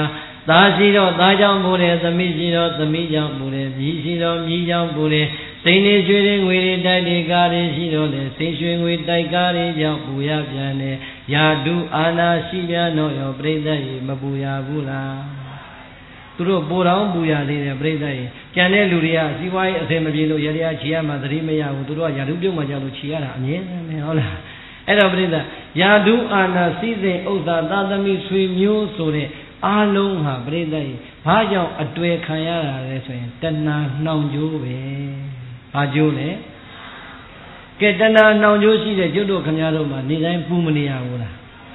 သားလေးအိမ်ပြန်မလာဘူး10နာရီ17နာရီအေးဘောလုံးပွဲများကြည့်နေတာလားဘယ်များရောက်သွားပါလိမ့်ဘယ်များပါသွားပါလိမ့်ဟောပြိဿမပူရဘူးလားသမီးပြန်မလာရင်မပူရဘူးလားဘုသားသမီးပြန်မလာဆိုအိမ်ကဒကာကြီးတွေပြန်မလာရင်မပူရဘူးလားကဲအေးတာပါရှိတယ်စီဝါဥစ္စာတွေထားပြီးတော့ဒကာပိတ်တော့ခတ်ပြီးတော့လွတ်လွတ်လပ်လပ်တရားကိုနာနိုင်ရဲ့လားမလီအဝေးကြီးတော့တော်ရန်သွားလို့မဖြစ်ဘူး ဘုန်းကြီးကသူရတာသူယူပြန်မှတို့ပေးခဲ့မှာမဟုတ်ဘူးရှိတာလေးဖောက်သွားရင်ဒုက္ခဟုတ်လားဟုတ်လားအဲ့တော့ပြိဿကြီးတဏှာဆိုတဲ့နှောင်ကြိုးရစ်လိုက်တာသာသမီဆွေမျိုးပစ္စည်းဥစ္စာနဲ့နှောင်ဖွဲလိုက်တာပြိဿကြီးတဏှာလက်ချက်ဟာပူသလားအေးသလားအဲ့ဒီတဏှာအပူတွေကိုကျုပ်တို့မြတ်စွာဘုရားကဘောဓိပင်အောက်ကရွှေပလင်တော်ပေါ်မှာအကုန်လုံးအမြင့်ဖြတ်မတတ်ခဲ့ဘူးလားယုံရလား ရှင်တော်မြတ်ဘုရားတော်ကိလေသာတဏငါးပြားအာယောကာမဂုဏ်ကိုခံစားခဲ့ရတာမရှိပါဘူးပြိဿရဲ့ကျွတ်တော်မြတ်စွာဘုရားသည်လူသားဘုရားလားနတ်ဘုရားလားလူသားဘုရားဆိုတော့ကျွတ်တော်မြတ်စွာဘုရားကဘွားကလေးဘုရားအဖြစ်ကိုတန်းရသွားတာလားအသက်ဘယ်လောက်ကြာမှဘုရားဖြစ်တာဟမ်35နှစ်ဟုတ်လားအေးကောင်းတယ်အဲ့မင်းငိမ့်တော့တာကောင်းတယ်ဒါမှခင်ဗျားတို့မျက်နှာကြုံမြင်ရတာစောစောမမြင်ရဘူး ဟုတ်လားငတ်ရင်လည်းမြင်ရတယ်ပြုံးရင်လည်းမြင်ရတယ်ဖြေရင်လည်းကြားရတယ်ဟုတ်လားအဲ့တော့ပြိဿရေပြောကျင်တာကမြတ်စွာဘုရားဟာလူသားဘုရားပါတဲ့မြတ်စွာဘုရားဖရာမဖြစ်ခင်တတ်တော်ဘလောက်အထိလူဘဝမှာနေခဲ့29နှစ်ကရိုးရိုးတာမန်လူသားလားမင်းကြီးမင်းသားလားမင်းကြီးမင်းသားနော်ဓမ္မသုဘသုရမလို့ခေါ်တဲ့ရွှေနန်းသုံးဆောင် နွေရာသီသန္နတော်တဆောင်မိုးရာသီသန္နတော်တဆောင်ဆောင်းရာသီသန္နတော်တဆောင်ရွှေနန်းသုံးဆောင်နဲ့စည်းစိမ်နေခံစားလိုက်တာပြိဿရေသနီမယာဖြစ်တဲ့ရတော်ရာကိုမရဘူးလားဖះဘေဘေတွေကဆုံခဲ့တာလေဆက်ချောင်းလေးတရားဆုံခဲ့တာပြောလို့တာကတော့ပြိဿရေဒါကျွတ်တို့မြတ်စွာဘုရားကိုနောက်နေတာမဟုတ်ဘူး16နှစ်တည်းကရတော်ရာနဲ့တွေ့ပြီးတော့တယောက်ထဲလားလို့မင်းနှစ်ယောက်သားတော်ရာဟုလားအဖြစ်မပါဘူးလား ကဲကျုပ်တို့မြတ်စွာဘုရားရောပြိဿရေသတ္တော်29နှစ်တိုင်တိုင်မှာနန်းသောဆိုနန်းသုံးဆောင်မောင်းမတထောင်ကျော်နဲ့တကွာတန်ရောစဉ်နှောင်ကြိုးတွေရှိတယ်ရတော်ရဗိမမြောက်သာရွှေဆင်းလိုလှပါတဲ့ဇနီးမယားလည်းရှိခဲ့တယ်နှလုံးသားမှာတည်နေတဲ့သားတော်ရာဟုနာလည်းရှိခဲ့တယ်တဏှာနှောင်ကျိုးရစ်တိုင်းလို့ဖွဲ့ထားလိုက်တာ29နှစ်တိုင်တိုင်ပြိဿရဲ့နန်းတော်ထဲမှာခံစားလို့နေခဲ့တာ ဟုတ်တယ်မို့လားသို့တော်ပြိဿရဲ့ငါတောထွက်မှဖြစ်တော့မယ်ဒီနှောင်ကျိုးအရစ်ခံရရင်ငါလိုချင်တဲ့ဖရာဆိုတာဘယ်တော့ဖြစ်မှလဲငါလိုချင်တဲ့နိဗ္ဗာန်ဘယ်လိုလုပ်ရမှလဲဆိုတဲ့အတိတတိတွေကနှိုးဆော်လိုက်တဲ့အခါ29နှစ်မှာပြိဿရတော်ရရာဟုလာနဲ့ရွှေနန်းသုံးဆောင်အကုန်လုံးကိုမထားခဲ့ဘူးလားထားခဲ့ပြီးတော့ဒုက္ခရစရိယ6နှစ်ကြာအောင်ကျင့်နောက်ဆုံးဖျားဖြစ်တော်မူတဲ့တပ်ပိညုတရွှေဉဏ်တော်ရတော်မူတဲ့ ဘောဓိပင်အောက်ကပလင်တော်ပေါ်မှာမြတ်စွာဘုရားသည်ကိလေသာတဏှာသံဃာတခွင်တွေကနှလုံးသားမှာညှိကပ်လာတဲ့ကိလေသာတဏှာမှန်သမျှကိုအမြင့်ပြတ်မတုတ်တင်နိုင်ဘူးလားသုတ်တင်လိုက်တော့မြတ်စွာဘုရားမှာတဏှာအပူမရှိတော့ဘူးဆိုတော့ရတော်ရနဲ့တွေ့တော့ရောမြတ်စွာဘုရားမှာအပူရှိသေးလားရာဟုလာနဲ့တွေ့တော့ရောအပူရှိသေးလားအဲ့ဒါပဲပြိဿရဲ့ကျွတ်တို့ခမည်းတော်ပူနေရတဲ့အရာအလုံးထဲမှာ အလွန်ပူပြင်းတဲ့တဏှာနှောင်ကြိုးကိုကျွတ်တို့မြတ်စွာဘုရားကအလကားဖြတ်သွားတာလားကြင့်ကြံပြီးတော့ဖြတ်သွားတာဘယ်နှစ်ကျင့်ကြရ6နှစ်6နှစ်ကဒါကနောက်ဆုံးဘဝပြိဿရဲ့လေးသိခြင်းတဲ့ကဘာတသိဒီပါရမီတွေမဖြစ်ကြရဘူးဖြစ်ကြရတယ်ဒါကြောင့် လူသားမနတ်သားမနေမကျင့်နိုင်တဲ့အကျင့်တို့အကျင့်မြတ်လူသားမနတ်သားမနေခံစား권မရတဲ့ချမ်းသာခံစားမှုတွေကိုစွန့်ပြီးတော့မှကိလေသာတဏှာအမြင့်ပြအောင်ကျင့်တော်မူခဲ့တဲ့ကျုပ်တို့မြတ်စွာဘုရားရဲ့ခုံကိုအာယုံပြုမယ်ဆိုရင်ကိုယ်မှာတဏှာနောင်ညိုရစ်တိုင်းခံရလို့ပူပြင်းနေတိုင်းတဏှာကင်းအောင်ကျင့်တော်မူသွားတဲ့ကျုပ်တို့မြတ်စွာဘုရားရဲ့ခုံကိုအာယုံပြုပြီးတော့ပူဇော်လိုက်မယ်ဆိုရင် ပူဇော်ရတာအရသာမရှိဘူးလားဒါဆိုရင်ဘာကြောင့်ပူဇော်တာလဲပူဇော်တိုင်းလို့ပူဇော်တယ်ဘာကြောင့်ပူဇော်ထိုက်တာလဲလို့မေးရင်တဏှာကင်းအောင်ကျင့်တော်မူခဲ့တဲ့အတွက်ပူဇော်ထိုက်လို့ပူဇော်ပါတယ်ရပြီလားပြီးတော့မြတ်စွာဘုရားမှာတဏှာရှိသေးလားကျွတ်တို့ခမည်းတော်မှာကိုယ်မှာတဏှာကနှိမ့်ဆက်ခံရလေတိုင်းတဏှာကင်းတဲ့မြတ်စွာဘုရားကိုပူဇော်ရတာအရသာမရှိဘူးလား ဒါဆိုရင်နောက်တစ်ခုကပါလေသန္တရာနေခြင်းသမားတွေမှာတဏှာပြီးတဲ့အခါကျတော့ဒုတိယရောက်လာတာကမာနဆိုတဲ့တရားဆိုဒုပရိသမာနရှိသလားမရှိဘူးလားဘလောက်ကြီးသလဲမာနရှိလားမရှိဘူးလားမာနရှိတယ်ပရိသတ်ရေပုထုဇဉ်တော်တော်များများကဘာမှပြိုင်စရာမရှိရင်တော့မာနတွေမပြိုင်ဘူးလားစိုက်ကားသမားလည်းစိုက်ကားမာန လူကလည်းလူမာနလူတဲ့တော်မှာဘောပကလည်းဘောပကမာနယဝတ္တလည်းယဝတ္တမာနဟုတ်လားဘုန်းကြီးကလည်းဘုန်းကြီးမာနမာနတွေမများဘူးလားကဲဘုန်းကြီးရောလူရောတခါတခါကျတော့ပြိဿမာနတွေမပြိုင်ဘူးလားပြိုင်တာပဲဟုတ်လားဒီတော့မာနဘလောက်ပဲပြိုင်ပြိုင်ပြိုင်စမ်းမှာမာနရဲ့နောက်မှာပြိဿရဲ့ချမ်းသာရှိသလားဆင်းရဲရှိသလားအပူရှိသလားအေးရှိသလားပြိုင်လိုက်လေ မာနကိုပြိဿရဲ့ပြိုင်ကြည့်စမ်းမှာပြိုင်နေတဲ့အချိန်တွေကကိုပူမနေဘူးလားဆင်းရဲမနေဘူးလားဆင်းရဲတာပေါ့ဟုတ်လားဒီတော့အဲ့ဒီမာနာကြီးကိုကျွတ်တို့ကနှလုံးသားထဲမှာအမလီအဖော်ကောင်းကြီးထင်းပြီးတော့ထည့်ထားပြီးတော့ကြီးကြီးကျယ်ကျယ်လှုပ်လှုပ်ကသူတို့လမ်းကိုလည်းဒိုမသွားဘူးဒိုလမ်းနဲ့မလိုက်နေပေါ့ကွာဆိုတဲ့ပြိဿရဲ့မာနပပါဘူးလားပါအဲ့ဒါကဟိုဘက်ဒီဘက်နောက်ပဲပြောတာပြိဿရဲ့တယောက်နဲ့တယောက်မာနတွေရှင်လာတဲ့အခါကျတော့ ကျန်တာမပြောပါနဲ့နေ့စဉ်နေ့တိုင်းထိုးနေတဲ့နှလုံးသုံးလုံးမှာပဲမာနတွေမပြိုင်ဘူးလားဟမ်မာနတွေပြိုင်ထည့်လိုက်တာအင်္ဂယမှာပေါင်းတဲ့လူတွေအများကြီးပဲဟုတ်လားမပေါ်ဘူးလားတဏှာလောဘလောဘတဏှာအတူတူပဲလောဘတဏှာနှိမ့်သက်တဲ့အတွက်ကြောင့်မာနအဆင့်ကိုလည်းရောက်သွားတတ်တယ်မောဟအဆင့်ကိုလည်းရောက်သွားတတ်တယ်ဒေါသအဆင့်ကိုလည်းရောက်သွားတတ်တယ်ဒါကြောင့်ပြိဿရဲ့လောဘတဏှာတဏှာလောဘဒီတရားနဲ့မာနတွေကင်းသွားရင် ပူမလားအေးမလားအေးတာပေါ့ဒါကြောင့်မြတ်စွာဘုရားမှာမာနဆိုတာရှိသေးတာစဉ်းစားကြည့်ကျွတ်တို့မြတ်စွာဘုရားဟာရိုးရိုးအယက်သားလားရှင်မင်းသားလားရှင်မင်းသားကျွတ်တို့မြတ်စွာဘုရားကဘုရားဖြစ်တဲ့အခါကျတော့ဟေ့ငါဒီနန်းတော်တွေငါပိုင်ခဲ့တာဒီစည်းစိမ်တွေငါပိုင်ခဲ့တာအဲ့ဒါတွေအကုန်လုံးငါ့ကိုပစ္စည်းလေးပါးတစ်ခါဖြစ်နေနေတိုင်းဆုံးချက်ကတ်လို့မြတ်စွာဘုရားအမိန့်ထုတ်သလားမထုတ်ဘူး ဟောဒီလောကီစည်းစိမ်ငါးပြာအာယုံကမဂုံနေသည်ငါနဲ့မဆိုင်ငါတို့ရဲ့ဘုရားနတ်စဉ်ငါတို့ရဲ့ဘုရားတို့ရဲ့နာညောင်းငါတို့ဘာနဲ့လဲဆိုရင်သပိတလုံးသင်္ကန်းသုံးတဲ့နဲ့ရသမျှဆွမ်းရသမျှသင်္ကန်းလေးနဲ့ရောင်ရဲတင်းတင်ပြီးတော့လောကလူသားတွေရဲ့ကောင်းကျိုးကိုငါတို့ကခေါ်ကြပြသလို့ဆုံးမရမှာဆိုတော့မြတ်စွာဘုရားဘုရားဖြစ်တော့ဆုံးချက်စားသလားဆုံးခံစားသလား ဆုံးခံစားတယ်ကဲပြိဿဆုံးခံရတဲ့အလုပ်ဟာလွယ်တယ်လို့ထင်တာဘယ်လိုလုပ်လွယ်မလဲပြိဿကြီးသူများရဲ့တရားအခြေခံနဲ့လောင်းလူတဲ့အလကားပေးမဲ့ပစ္စည်းကိုအလူခံရတာဆိုတာပြိဿယဟန်ဘဝသီလရှင်ဘဝအခက်ဆုံးပဲဟုတ်လားဆုံးခံရတာစိတ်ညစ်ပြီးလူထွက်တဲ့ကိုယ်တော်တွေအများကြီးပဲဆုံးခံရတာရှက်ပြီးတော့လူထွက်သွားတဲ့သီလရှင်တွေအများကြီးပဲဘာဖြစ်လို့လဲ တရားတရားဟာပြိဿလူသားရဲ့နှလုံးသားထဲမှာအမြဲတမ်းတည်ပါမှာတည်အောင်တော့အမြဲတမ်းကောင်းပါမှာကိုမိသားစုအစင်မပြေဖြစ်နေတဲ့အချိန်ပြိဿရင်ကိုတော်ကအလိုက်ကမ်းစိုးမသိပဲနဲ့အင်းရှိသွားရက်မယ်ဆိုတော့ဆုံးမလောက်နေမယ်ကြောဆုံးမကိုတော်ဘယ်နဲ့စိတ်လျှော့ရတယ်ဒီဘုန်းကြီးနဲ့အလိုက်မသိအကမ်းမသိတော့သွားပြီပြိဿရင်ပြေးပြီနောက်တစ်ခါမလာတော့ဟုတ်တယ်မလားအဲ့တော့ပြိဿသူများရဲ့တရားကိုမှီခိုရတဲ့ယဟန်ဘဝမှာဆွမ်းခံရတာတခုတည်းနဲ့မာနဟာအများကြီးကြမသွားဘူး ကြံသွားတယ်ဒီတော့ကျွတ်တော်မြတ်စွာဘုရားဘလောက်ကြီးညိုဖို့ကောင်းတယ်ပြိဿရှင်မရဲ့သားရှင်နန်းသုံးဆောင်တဲ့ရတော်ရဇနီးမယားလည်းရှိတယ်သားလည်းရှိတယ်မောင်မမိတ္တအချမ်းရနေလည်းရှိတယ်ငါဘုရားဖြစ်ပြီငါ့ကိုဆုံးချက်ကကြငါနဲ့မဆိုင်တော့ဘူးတခုမှမပြောတော့ဘူးဟုတ်လားဘာဖြစ်လို့လဲမြတ်စွာဘုရားတို့ရဲ့လမ်းစဉ်မှာပိုင်တယ်ဆိုတာဘာမှမရှိဘူးသပိတ်တစ်လုံးပဲရှိတယ်သင်္ကန်းသုံးတယ်ပဲရှိတယ်ဟုတ်လား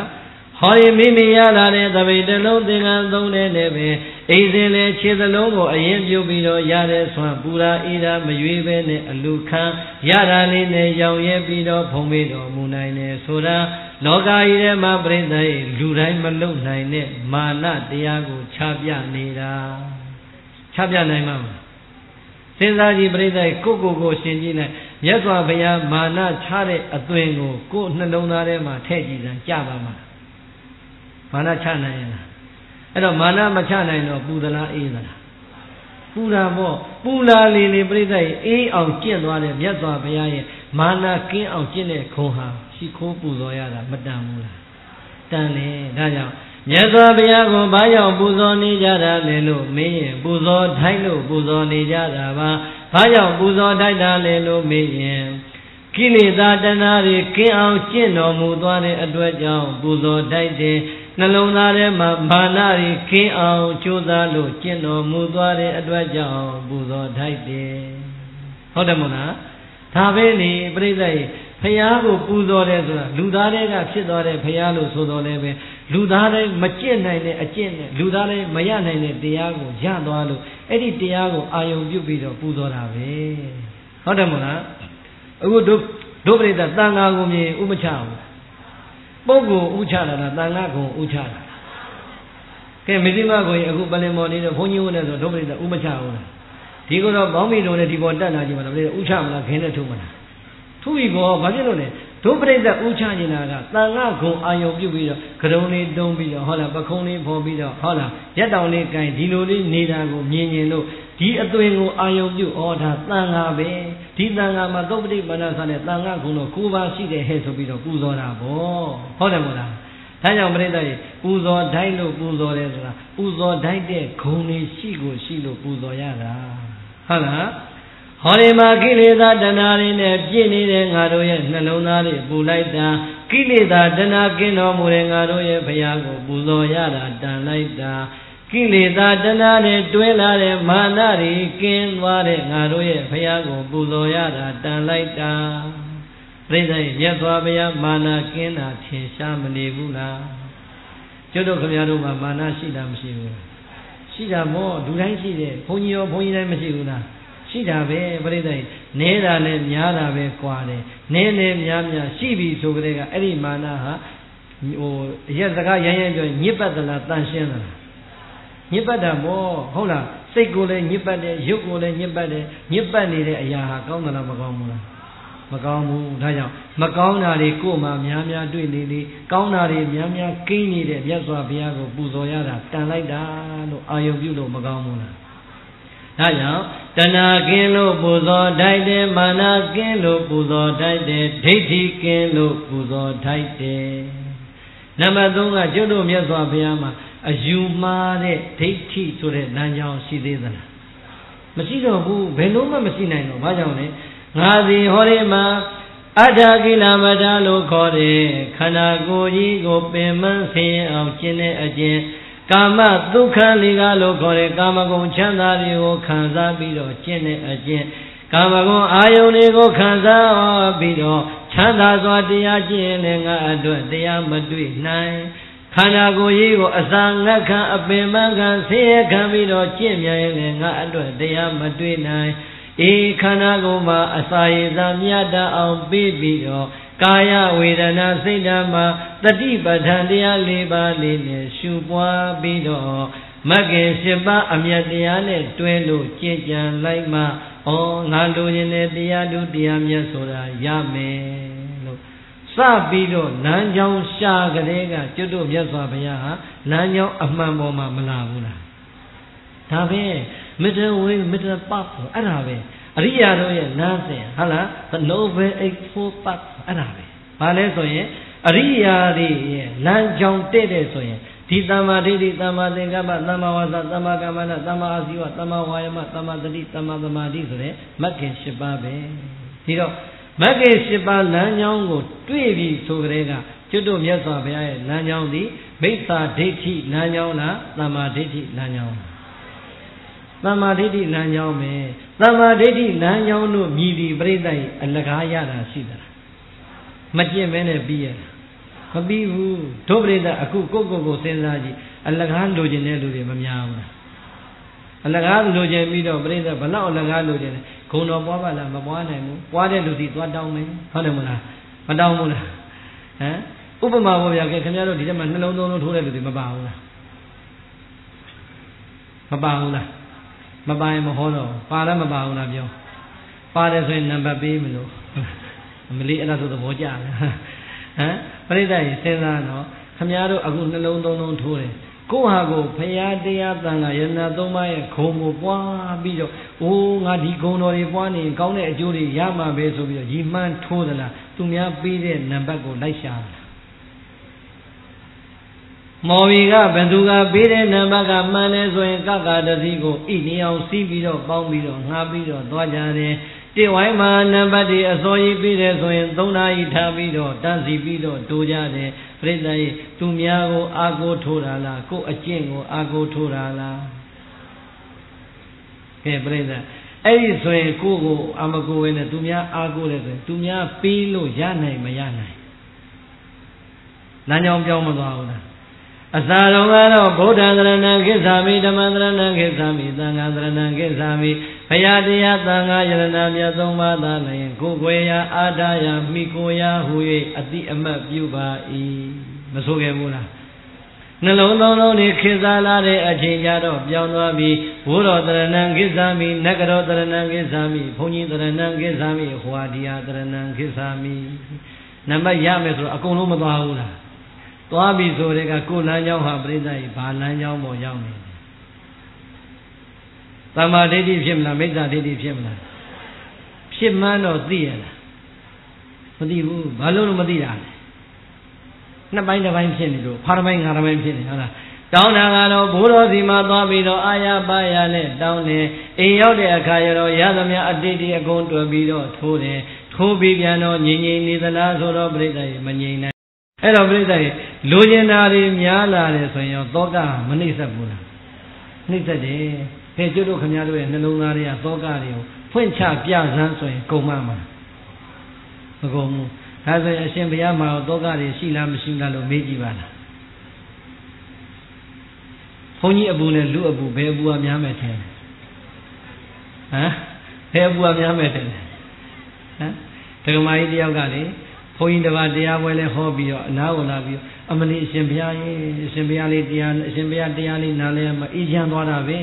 အရှင်ဘုရားတို့မှာဒီလောက်အေးချမ်းတဲ့တရားတွေရင်ထဲမှာရှိတာနော်ဘာတော့ကမှရှိမှာမဟုတ်ဘူးနော်ဆိုတော့ဘုန်းကြီးကလက်လေးကာပြတယ်အသာတူတူပြောတဲ့ခမရတော့ကနဲ့ကျုပ်တော့ကရှင်ကျုပ်ကတော့များအောင်မလားမသိဘူးဆိုတော့ဒကမာကြီးကအံ့ဩသွားတယ်ဟမ်ဘုံဘုံတို့မှလည်းတော့ကရှိတယ်ဘာများတော့ကရှိဩခမရတို့လည်းသားတွေသမီးတွေနဲ့အိမ်တွေအိုးတွေနဲ့နေရတာကျုပ်တို့လည်းကြောင်းနေကန်နေနဲ့ဆရာတွေတပည့်တွေဒီလိုတွဲနေရတာကျုပ်မှလည်းဗျာမိုးတွင်ရောက်လာရင် ဒီကိုယ်တော်တွေမိုးမလုံးမှဆိုရတာနဲ့ဟုတ်လားမိုးလုံးအောင်ထားနိုင်ပြန်တော့စားစရာမရှိမှဆိုရတာနဲ့ဘုဇရာဝါသုသင်္ကန်းမရမှဆိုရတာနဲ့ဝါဆိုများနီးလာလို့မိုးပြန်ပြန်ကြနိုင်ခမရအပူနဲ့ကျုပ်အပူရှင်ကြည့်ရင်များတဲ့ကျုပ်ပိုက်တာလှန်ပေးစပလုံးတင်ပေါက်ပေါက်ထားပေါက်လောက်တယ်တဲ့ဟုတ်လားဘုန်းကြီးအပူဘလောက်များလဲဟုတ်လား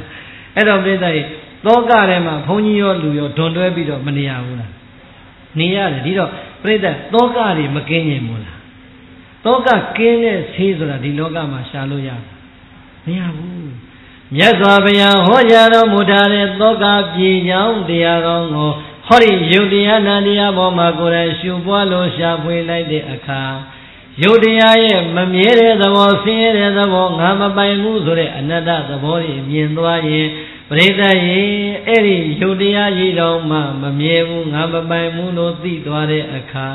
ကျန်တဲ့လောကရန်သဘောတရားတွေပေါ်မှာကြုံတွေ့လာတဲ့အခါကျတော့ခြေတက်နေတတ်တဲ့စိတ်တွေဝင်မသွားဘူးလားဝင်သွားတယ်ဒီတော့မြတ်စွာဘုရားတို့တောကကင်းတယ်ပရိဒေဝကင်းတယ်ဆိုတာနှလုံးသားမှာတရားပြည့်လို့လားတရားမပြည့်လို့လားတရားပြည့်တဲ့မြတ်စွာဘုရားမှာအငုံမျက်လုံးရှိပါအောင်မလားအပြုံးမျက်ရည်ရှိပါအောင်မလားဘာကြောင့်မှမကြနိုင်တော့ဘူးတဲ့ဒါကြောင့်ပြိဿရေမြတ်စွာဘုရားကိုဘာကြောင့်ပူဇော်တာလဲဘုရားရှင်နဲ့တကွာ ပြည့်စေကဗုဒ္ဓကိုဘာကြောင့်ပူဇော်တာလဲယဟနာပုဂ္ဂိုလ်ကိုဘာကြောင့်ပူဇော်တာလဲလို့မေးရင်ပြိဿရိုးရိုးရှင်းရှင်းလေးပါသောကပရိဒေဝကင်းလို့ပူဇော်ပါတယ်ဂုံတူးတစ်ချက်ရမသွားဘူးလားပေါင်းလိုက်တော့ဟာကျက်တဏှာကင်းလို့ပူဇော်တိုက်တယ်မာနကင်းလို့ပူဇော်တိုက်တယ်ဒိဋ္ဌိကင်းလို့ပူဇော်တိုက်တယ်သောကကင်းလို့ပူဇော်တိုက်တယ်ပရိဒေဝကင်းလို့ပူဇော်တိုက်တယ် အဲ့ဒီပူဇော်တိုက်တဲ့ဂုံတွေကိုအာယုံပြုပြီးတော့မြတ်စွာဘုရားရဲ့အလိုရောကြအတိုင်းသာဒုပရိသတ်နေတိုင်းပူဇော်နေမယ်ဆိုရင်ပူဇော်ခြင်းဟာအဓိပ္ပာယ်မရှိဘူးလားရှိတယ်ဒါကြောင့်အဲ့ဒီလိုပူဇော်တတ်ပါစေမြတ်စွာဘုရားကိုပူဇော်နေတာကတော့နေတိုင်းမပူဇော်ဘူးလားပူဇော်တယ်ဒါဆိုရင်ပြိဿဟောဒီတရားလေးပြန်ပြီးတော့တတိပေးမယ်ဒီတရားဘယ်သူကဘသူကိုဟောနေတာ မြတ်စွာဘုရားကပုံနာကြီးနဲ့ယဟန်တွေကိုဟောနေတာဘသူကိုအကြောင်းပြုပြီးတော့ဖြစ်တာလဲလို့မင်းရင်ပုံနာကြီးပုံနာကြီးကနတ်စင်ကြီးကိုဇေဒီအဖြစ်နဲ့ရှိခိုးနေတယ်ဆိုတော့မြတ်စွာဘုရားကဇေဒီ၄မျိုးကိုဇေဒီထိုက်တဲ့ပုံကို၄မျိုးကိုထုတ်ပြလိုက်တော့နတ်စင်ပါကလား နတ်စင်မမာတဲ့ဖြင့်အဲ့ဒီဇေဒီထိုက်တဲ့ပုံကိုတည်းက၃မျိုးရဲ့ကိုစားတီးမယ်ဆိုရင်လည်းဇေဒီဟာဓာတုဓမ္မဩဒိတပရိဘောက၄မျိုးပဲရှိတယ်ဆိုတော့အဲ့ဒီထဲမှာရောနတ်စင်ပါသလားမပါဘူးမပါဘူးဆိုကြတဲ့ကမြတ်စွာဘုရားတော်ပြိဿပုံနာကိုပုဂ္ဂလဒိဋ္ဌာနာဓမ္မဒေသနာဟုတ်လားဓမ္မဒေသနာကတော့ရိုးရိုးလေးဟောလိုက်တာပဲအားလုံးကိုဟောနေတာသို့တော့ပုံနာကိုတဲ့တဲ့သွားပြီးတော့ထိမနေဘူးလား အဲ့တော့ပုံနာနာရင်တဲ့သဘောပေါက်နေတယ်ဩကြည်စမ်းငါတို့ကဘိုးဘွားဘီပင်လက်ထက်ကလေးကဟောဒီနတ်စင်ကြီးကိုဇေဒီအဖြစ်နဲ့ကိုယ်ွယ်နေတာအောင်မလီလောကကြီးထဲမှာဇေဒီထိုက်တဲ့ထဲမှာနတ်မပါပါလားငါတို့ကလောကကြီးထဲမှာကိုယ်ွယ်ရာအဖြစ်နဲ့ပူဇော်နေကြတာမြောင်များစွာရှာနေတယ်တကယ်တမ်းကြတော့ဘုရားပြည့်စေကဗုဒ္ဓယဟနာတိရဲ့ကိုစားဓာတုဓမ္မဩဒိတာပရိဘောဂဇေဒီကိုပဲပူဇော်ရမှာပါလားလို့ ပုံနာကြီးသိမသွားဘူးလားသိသွားပြီဒီတော့မြတ်စွာဘုရားပုံနာကိုဒီတရားဟောခြင်းလို့ဝေကံလုပ်လိုက်တာပဲဟုတ်လားဒီတော့ဒုပရိသရောပရိသပူဇော်တိုက်တဲ့ဇေဒီဟာဘယ်နှမျိုးပဲရှိတယ်၄မျိုးတခြားပူဇော်ရာကိုရှာစရာလိုသေးလားမလိုတော့ဘူးဟာရဆိုရင်ဟောဒီမှာဇေဒီ၄မျိုးရဲ့အရှိမဆွမ်းပန်းရေချမ်းသစ်သီးနဲ့စက္ကတူထားရင်ပစ္စည်းနဲ့ပူဇော်နေတာ တရားဓမ္မတွေနဲ့ယုတ်ပွားရှုပွားပြီးတော့ပူဇော်နေတော့တရားဓမ္မနဲ့ပူဇော်နေတာဘာကြောင့်ပူဇော်တာလဲလို့မေးရင်ပူဇော်တိုက်လို့ပူဇော်တာဘာကြောင့်ပူဇော်ထိုက်တာလဲလို့မေးရင်တဏမာနဒိဋ္ဌိသောကပရိဒေဝကင်းလို့ပူဇော်ထိုက်ပါတယ်လို့ပြန်ပြောပြနိုင်တယ်ဆိုရင်ပြိဿကျွတ်တို့ခမည်းတော်ရဲ့ပူဇော်မှုမှာအတိတ်ပဲနေပြေဝမသွားဘူးလားအခုပူဇော်တာပူဇော်နေတယ်အဲ့ဒါတွေမသိတဲ့အခါကျတော့အရသာရှိရလား အခုပူဇော်ရတာအရသာမရှိဘူးလားရှိသွားပြီဒါဆိုရင်ပြိဿရင်ပစ္စည်းနဲ့ပူဇော်မယ်တရားဓမ္မနဲ့ပူဇော်မယ်ပူဇော်တဲ့အပိုင်းကိုရောက်လာတယ်ဒုပရိသပစ္စည်းနဲ့မပူဇော်ဘူးလားဆွမ်းမကပ်ဘူးလားသင်္ကန်းပန်းရေချမ်းဘာကြောင့်ကတ်တာပူဇော်တိုင်းလို့သိကြလားဟမ်နာမည်တော့မပြောတော့ပါဘူးကြိုရမ်းမှသမီးတရားဟုတ်လား အိမ်ဆုံးစားကြွသွားတဲ့အခါကျတော့ပလင်းကြီးအရှိကြီးနဲ့ဟုတ်လားလက်ဖက်ကိုအပြည့်ထည့်ပြီးတော့စီစိန်ထားတာစီစိန်ပြီးတော့ပူဇော်တာဟာလားဦးဇင်းကလည်းကိုကလည်းဘုန်းကြီးဆိုတော့လေဘုန်းကြီးများလောဘနင်းအောင်တာဟောတာလောဘအစတွေးတာဟုတ်လား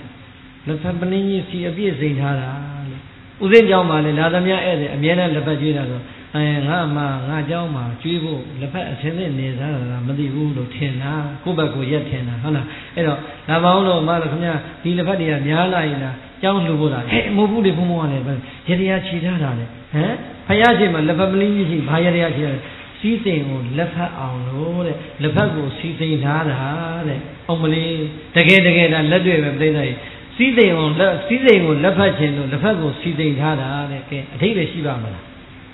ဟမ်လက်ဖက်စီစိန်လို့တာစီစိန်ကိုလက်ဖက်မယ်ဆိုတော့လည်းကျောင်းမှာအိုးနဲ့တောင်ထည့်ပြီးစိန်ထားလိုက်အောင်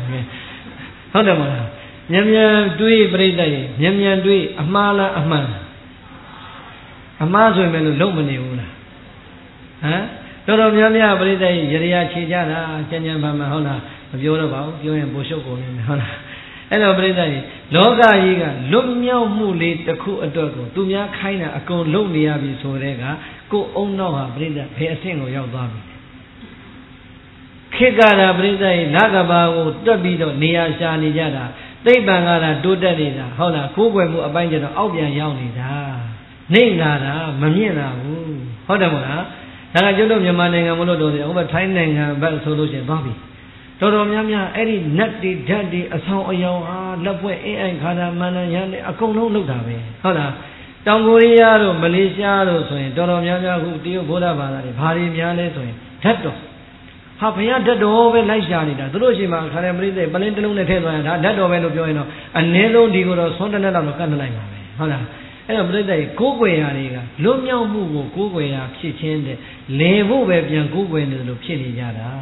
ဟုတ်လား အခုဒုပရိသပူဇော်တိုင်းလို့ပူဇော်တယ်ဆိုတာသိပြီးပြီ။ဘာကြောင့်ပူဇော်တိုက်တာလဲတဏမာနဒိဋ္ဌိသောကပရိဒေဝကင်းလို့ပူဇော်တိုက်တယ်ဆိုတာသိပြီးပြီဆိုရင်ဒုပရိသနေ့တိုင်းပစ္စည်းနဲ့ပူဇော်မနေဘူးလား။ပူဇော်တယ်နော်။ကဲခုနကပြောသလိုပန်းလှလှနဲ့မပူဇော်ဘူးလား။ဖះကိုပူဇော်တာလားဧည့်သည်ကိုပူဇော်တာလား။ဖះပဲလှအောင်ထားသလားဧည့်သည်ပဲလှအောင်ထား။အဲဘယ်သူပူဇော်လဲ။စဉ်းစားလေ ဖះကိုပူဇော်တယ်ဆိုမှတော့ဖះဘက်ပဲလှည့်ထားရင်ပုံမကောင်းဘူးလားအခုပဲကြည့်ကျုပ်ကဒီမှာနောက်ကခမရတို့ကရှိရဆုံးဟိုပန်းအိုးကခမရတို့ဘက်ပဲလှပြတယ်ကျုပ်ဘက်မှာအယိုးနဲ့ဆိုမြေကြီးပဲမြင်ရတယ်ကဲပြိဿကြီးအာယုန်ထဲမှာပေါ်လို့ရပါမလားခန္ဓာမှာဘန်းဆိုတာနှင်းစီဘန်းဆိုတာတော့ပဲသိရတယ်ဘလို့ပွင့်နေသလားဘလို့ကားနေသလားဘလို့ညှိုးနေသလားဘာမှမသိဘူးဟုတ်လားပူဇော်တာကတော့ဘု து ပူဇော်တာလဲဖះနဲ့ဘုန်းကြီးပူဇော်တာမဟုတ်ဘူးလားလှည့်ထားတာ ခမည်းတော်စိတ်ထဲမှာအခုတရားနာပြင်းပြင်းပြင်းနေပြီဆိုပါတော့ဘုန်းကြီးကြီးရတာလည်းอืมရှည်အောင်မယ်ထင်တယ်တော့လာတော့လည်းနောက်ကြသေးရှည်လဲရှည်သေးဆိုရင်စိတ်ကမပါလာဘူးဆိုရင်ပြိဿဘာလို့ပန်းကြည့်တာလို့လို့မိုက်ကြည့်တာလို့လို့ဟုတ်လားဘုန်းကြီးရက်တောင်ကြည့်တာလို့လို့တရားမနာတော့ဟုတ်လားအာနာပါနာနဲ့တာကြည်ပြီးတော့သူတို့တင်မဖရတာလုံနေရတာပြိဿလူတဘာဝရပြင်းအောင်ဟောရင်မပြင်းဘူးလား ကျုပ်ကဒီတရားအလုံးရွှင်ရွှင်ဟောတဲ့တရားအချင်းကလူဟောနေရလို့မြန်မြန်ပြီးအောင်ဟောနေရတာဟုတ်လားအဲ့တော့ပြိဿကြီးပြောမယ်အခုပူဇော်တယ်သွမ်းသင်္ကန်းကြောင်းစေပစ္စည်းလေးပါးနဲ့မြတ်စွာဘုရားကိုမပူဇော်ဘူးလားကဲအဲ့ဒါလေးပူဇော်တယ်ဆိုလို့ရှိရင်တဲ့ပူဇော်ရာရောက်သလားမရောက်ဘူးလားဟမ်မြတ်စွာဘုရားကိုဆွမ်းကတ်တာပူဇော်ရာရောက်သလားမရောက်ဘူးလားပန်းကတ်တာ ရေချမ်းကတ်တာပူဇော်ရာမရောက်ဘူးလားရောက်တော့ရောက်တယ်သို့တော်ပြိဿပူဇော်တာပြည့်စုံပြီလားလို့မေးရင်ဘာကြံသေးလဲတန်ဃာကိုဆွမ်းမကတ်ဘူးလားပြီးရောလားစာရည်လေးပိုင်းမပါဘူးလားထွင်ဖို့မကောင်းဘူးလားအဲ့ဒါပဲလေပြိဿကြီးရက်သွားဘုရားကိုပန်းရေချမ်းဆွမ်းတစ်သီးနဲ့တော့ကတ်နေတာပဲ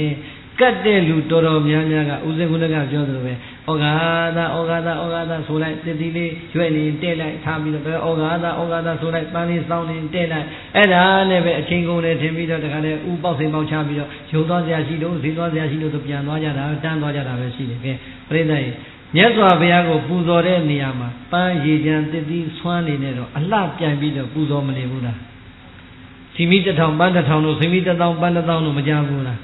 စီမီ9000ပန်း9000မကြဘူးလားနှမျိုးစရာကောင်းလိုက်တာဟုတ်လားစော်ကားတာမဟုတ်ပါဘူးတကယ်ကြီးညိုတကယ်လေးစားတကယ်ဂုံတော်ကိုရည်မှန်းတတိုင်နဲ့နဲ့ပူတော်ရောမရဘူး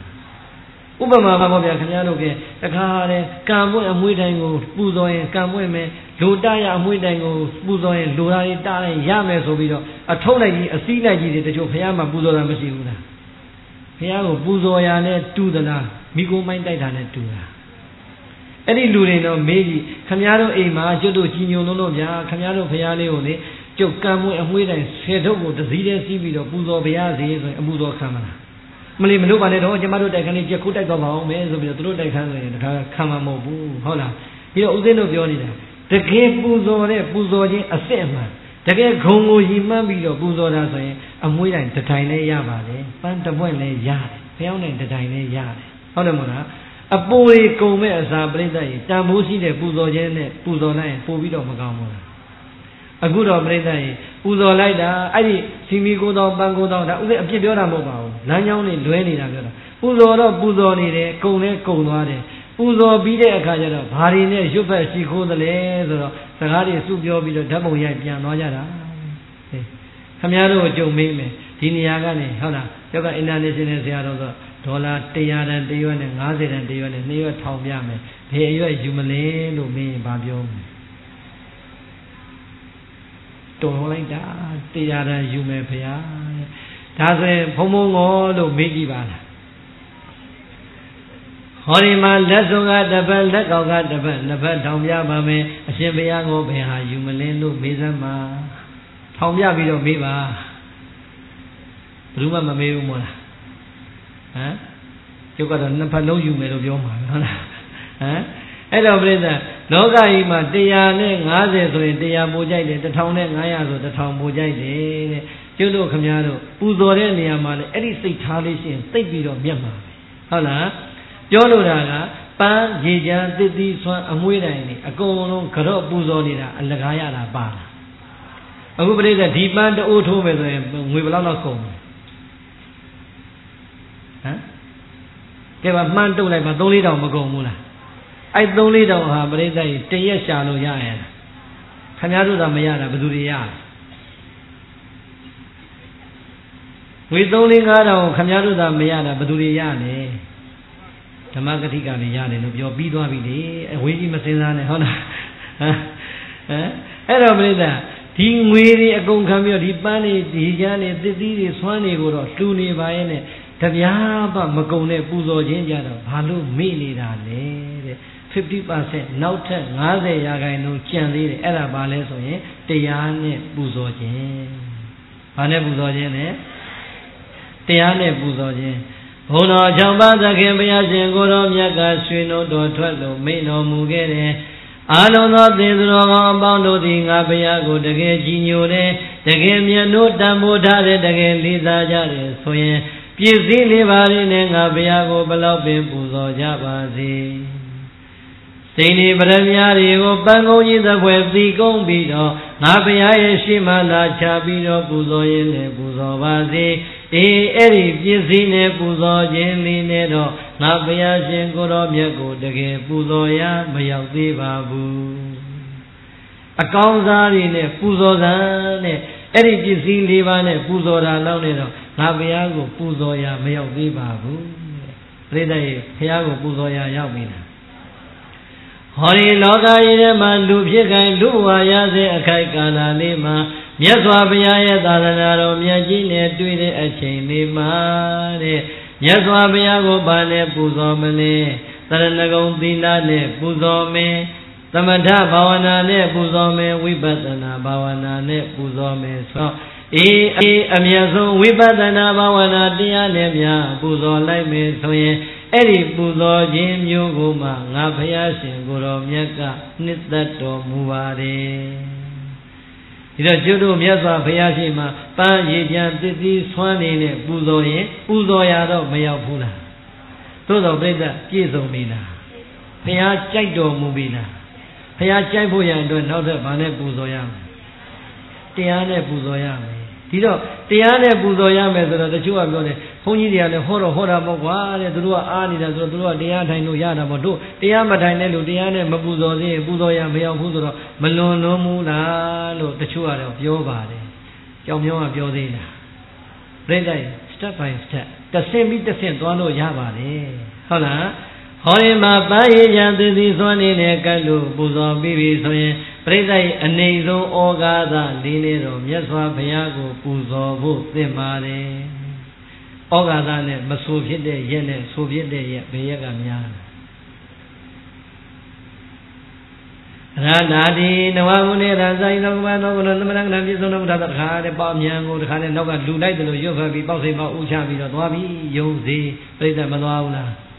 တကယ်တော့ဩဃာသဩဃာသဩဃာသနဲ့ငငယ်လေးတွေကရလာတော့ဒုပရိသကဩဃာသကိုသိအထင်မကြီးကျင်တော့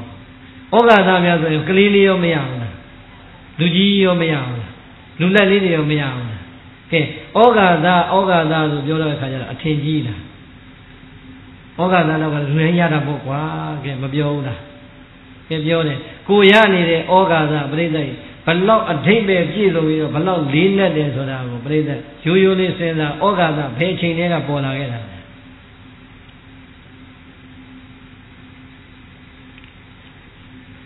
ဒီနေ့ညတော့သူတို့ဖြေတာတော့ပြန်စောင့်မယ်ဆိုတရားကိုဆက်ဟောမှာမို့တော့ဩဃာသဘယ်ချိန်ကပေါ်လာလဲအရှင်ဘုရားတို့ဘုန်းကြီးတွေဒီအလုံးလုံးထားပဲကိုတရားကိုဟောပါဆက်တာဟောပါအချိန်ကုန်ပါတယ် ဩဃာသဆိုတာပြိဿရဲ့ဟိုးအရှင်အာရဟံတို့အနွယ်သာတို့ခေတ်ကလေးကပေါ်လာခဲ့တာဘယ်ခေတ်ကပေါ်လာတာလဲဆိုတော့ဆိုမနေဘူးလားခေတ်ပြပေါ်လာတဲ့ခေတ်မသိတာတော့ထားလိုက်ပါတော့ဩဃာသဩဃာသဩဃာသနဲ့တော့ဆိုမနေဘူးလားကဲဩဃာသဆိုတာဘာလဲအာရောနာပါတယ်မြင်တဲ့လူကြည့်ရတာပဲမြင်တဲ့လူတွေကြည့်တော့ခေါင်းတွေငုံထားကြတယ်ဟုတ်လားဟမ်ကဲဩဃာသမဆိုဘူးလား ပြိဿပြောလိုတာကဘာဘုရားရှိခိုးမှမရရင်နေဩဃာသကိုပြိဿရိုးရိုးလေးဆိုကြည့်ဩဃာသဩဃာသဩဃာသမဆိုဘူးလားဘာလို့ဆိုတာလဲဩဃာသဆိုဘာတော့ဩဃာသဆိုအဃာတော့ဟမ်ဩဃာသဩဃာသဩဃာသဟုတ်လားခွင့်ပေးပါခရားလို့ပြိဿကြီးအခွင့်တောင်းတာဘာတောင်းတာလဲ ဩဃာသာဩဃာသာဩဃာသာအခွင့်ပေးပါဖေဟာပထမဩဃာသာဆိုလိုက်တယ်ဒုတိယဩဃာသာဆိုလိုက်တယ်တတိယဩဃာသာဆိုလိုက်တယ်ဘယ်နှကြိမ်ဆိုလဲပထမဆုံးဩဃာသာနဲ့ရွတ်ပတ်လိုက်တာကဟိုသုံးလောကထွတာရှင်တော်မြတ်ဖေဟာအရှင်ဘုရားရဲ့အနန္တဂုဏ်တော်ကိုတပည့်တော်ပူဇော်ခွင့်ပေးပါဖေဟာဒုတိယဩဃာသာ သောခတာသသောဂုဏ်တော်ကြောင့်ပါနေပြည့်စုံတော်မူသောတရားတော်မြတ်ဖရာတတိတော်ကိုတရားတော်ကိုပူဇော်ခွင့်ပေးပါဖရာသုံးပရိပါဏာသသောသံဃာဂုဏ်တော်ကိုးပါးနဲ့ပြည့်စုံတော်မူသောသံဃာတော်ရှင်မြတ်ဖရာတတိတော်ကိုပူဇော်ခွင့်ပေးပါဖရာပထမဩဃာသနဲ့ဘုရားကိုရည်ညွှန်းတယ်ဒုတိယဩဃာသနဲ့တရားကိုရည်ညွှန်းတယ်တတိယဩဃာသနဲ့သံဃာကိုရည်ညွှန်းပြီးတော့ပူဇော်တာကိုပြိဿရေ ဩဃာသဆိုတာပူဇော်ခွင့်ပေးပါဘုရားပူဇော်ခွင့်ပေးပါဘုရားလို့တောင်းတာသိပြီလားဘယ်တော့မှသိရလဲအခုသိတယ်ဗျာအဲအဲ့ဒါဆိုရင်တော့ဟောအောင်မယ်မောရရိုးနှက်ပါတယ်ဟုတ်လားဒီဩဃာသကိုပြိဿကဲကျုပ်ရည်လေးတောက်ရှင်တော့နောက်တစ်ပိုက်ဆက်ဆိုရည်လဲဩဃာသအဆိုး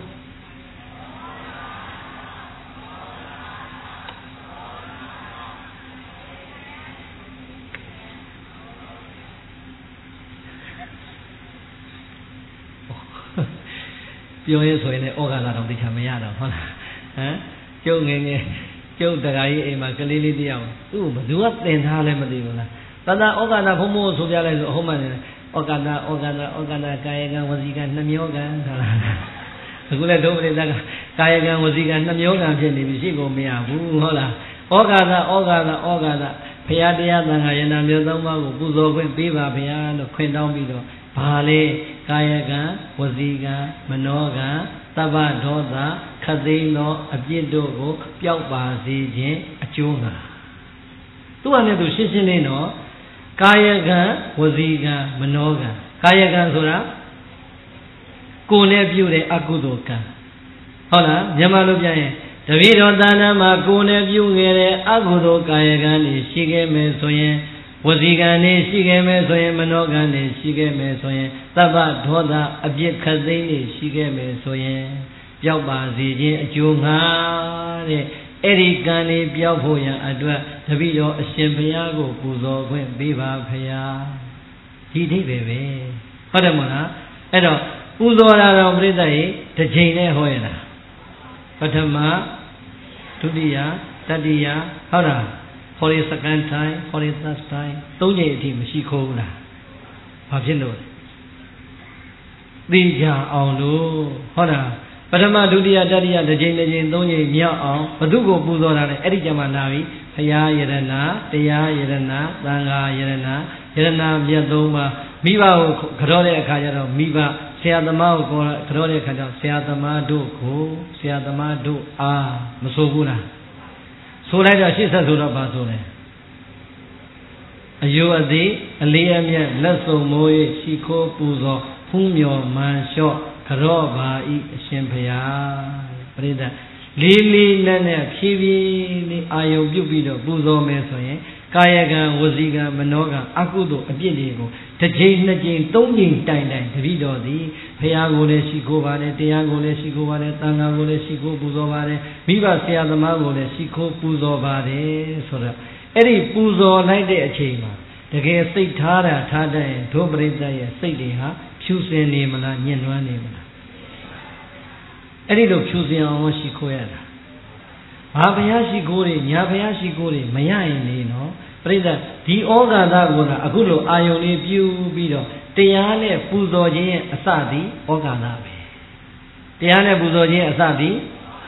ဩဃာသလောက်နဲ့ရှိခိုးဖို့တပြားမှမကုန်ဘူးဟုတ်တယ်မဟုတ်လားအဲ့တော့ခုနကပြောသလိုဘုရားတရားသံဃာယန္တာမြတ်သုံးပါးကိုသုံးချိန်တိုင်းနဲ့ပူဇော်ကြော့ပြီးသွားပြီဆိုတော့ကြော့လိုက်ပြီဆိုကြတဲ့ကပြိဿရေမာနတွေကြမသွားဘူးလား စိတ်ဓာတ်တွေဖြူမသွားဘူးလားဖြူနေတဲ့ပိဿလေးကိုပြိဿအယောင်ဆိုးလို့ရှိရင်အဝါဆိုးရင်အဝါမဆွဲဘူးလားအနီဆိုးရင်အနီမဆွဲဘူးလားဘာယောင်ဆိုးဆိုးမဆွဲဘူးလား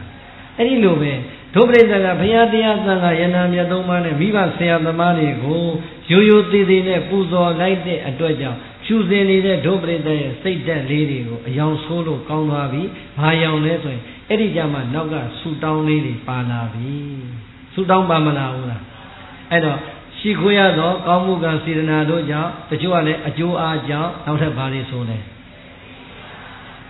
လက်ချိုးလက်ချိုးလက်ချိုးရိုးရိုးမဆိုနဲ့။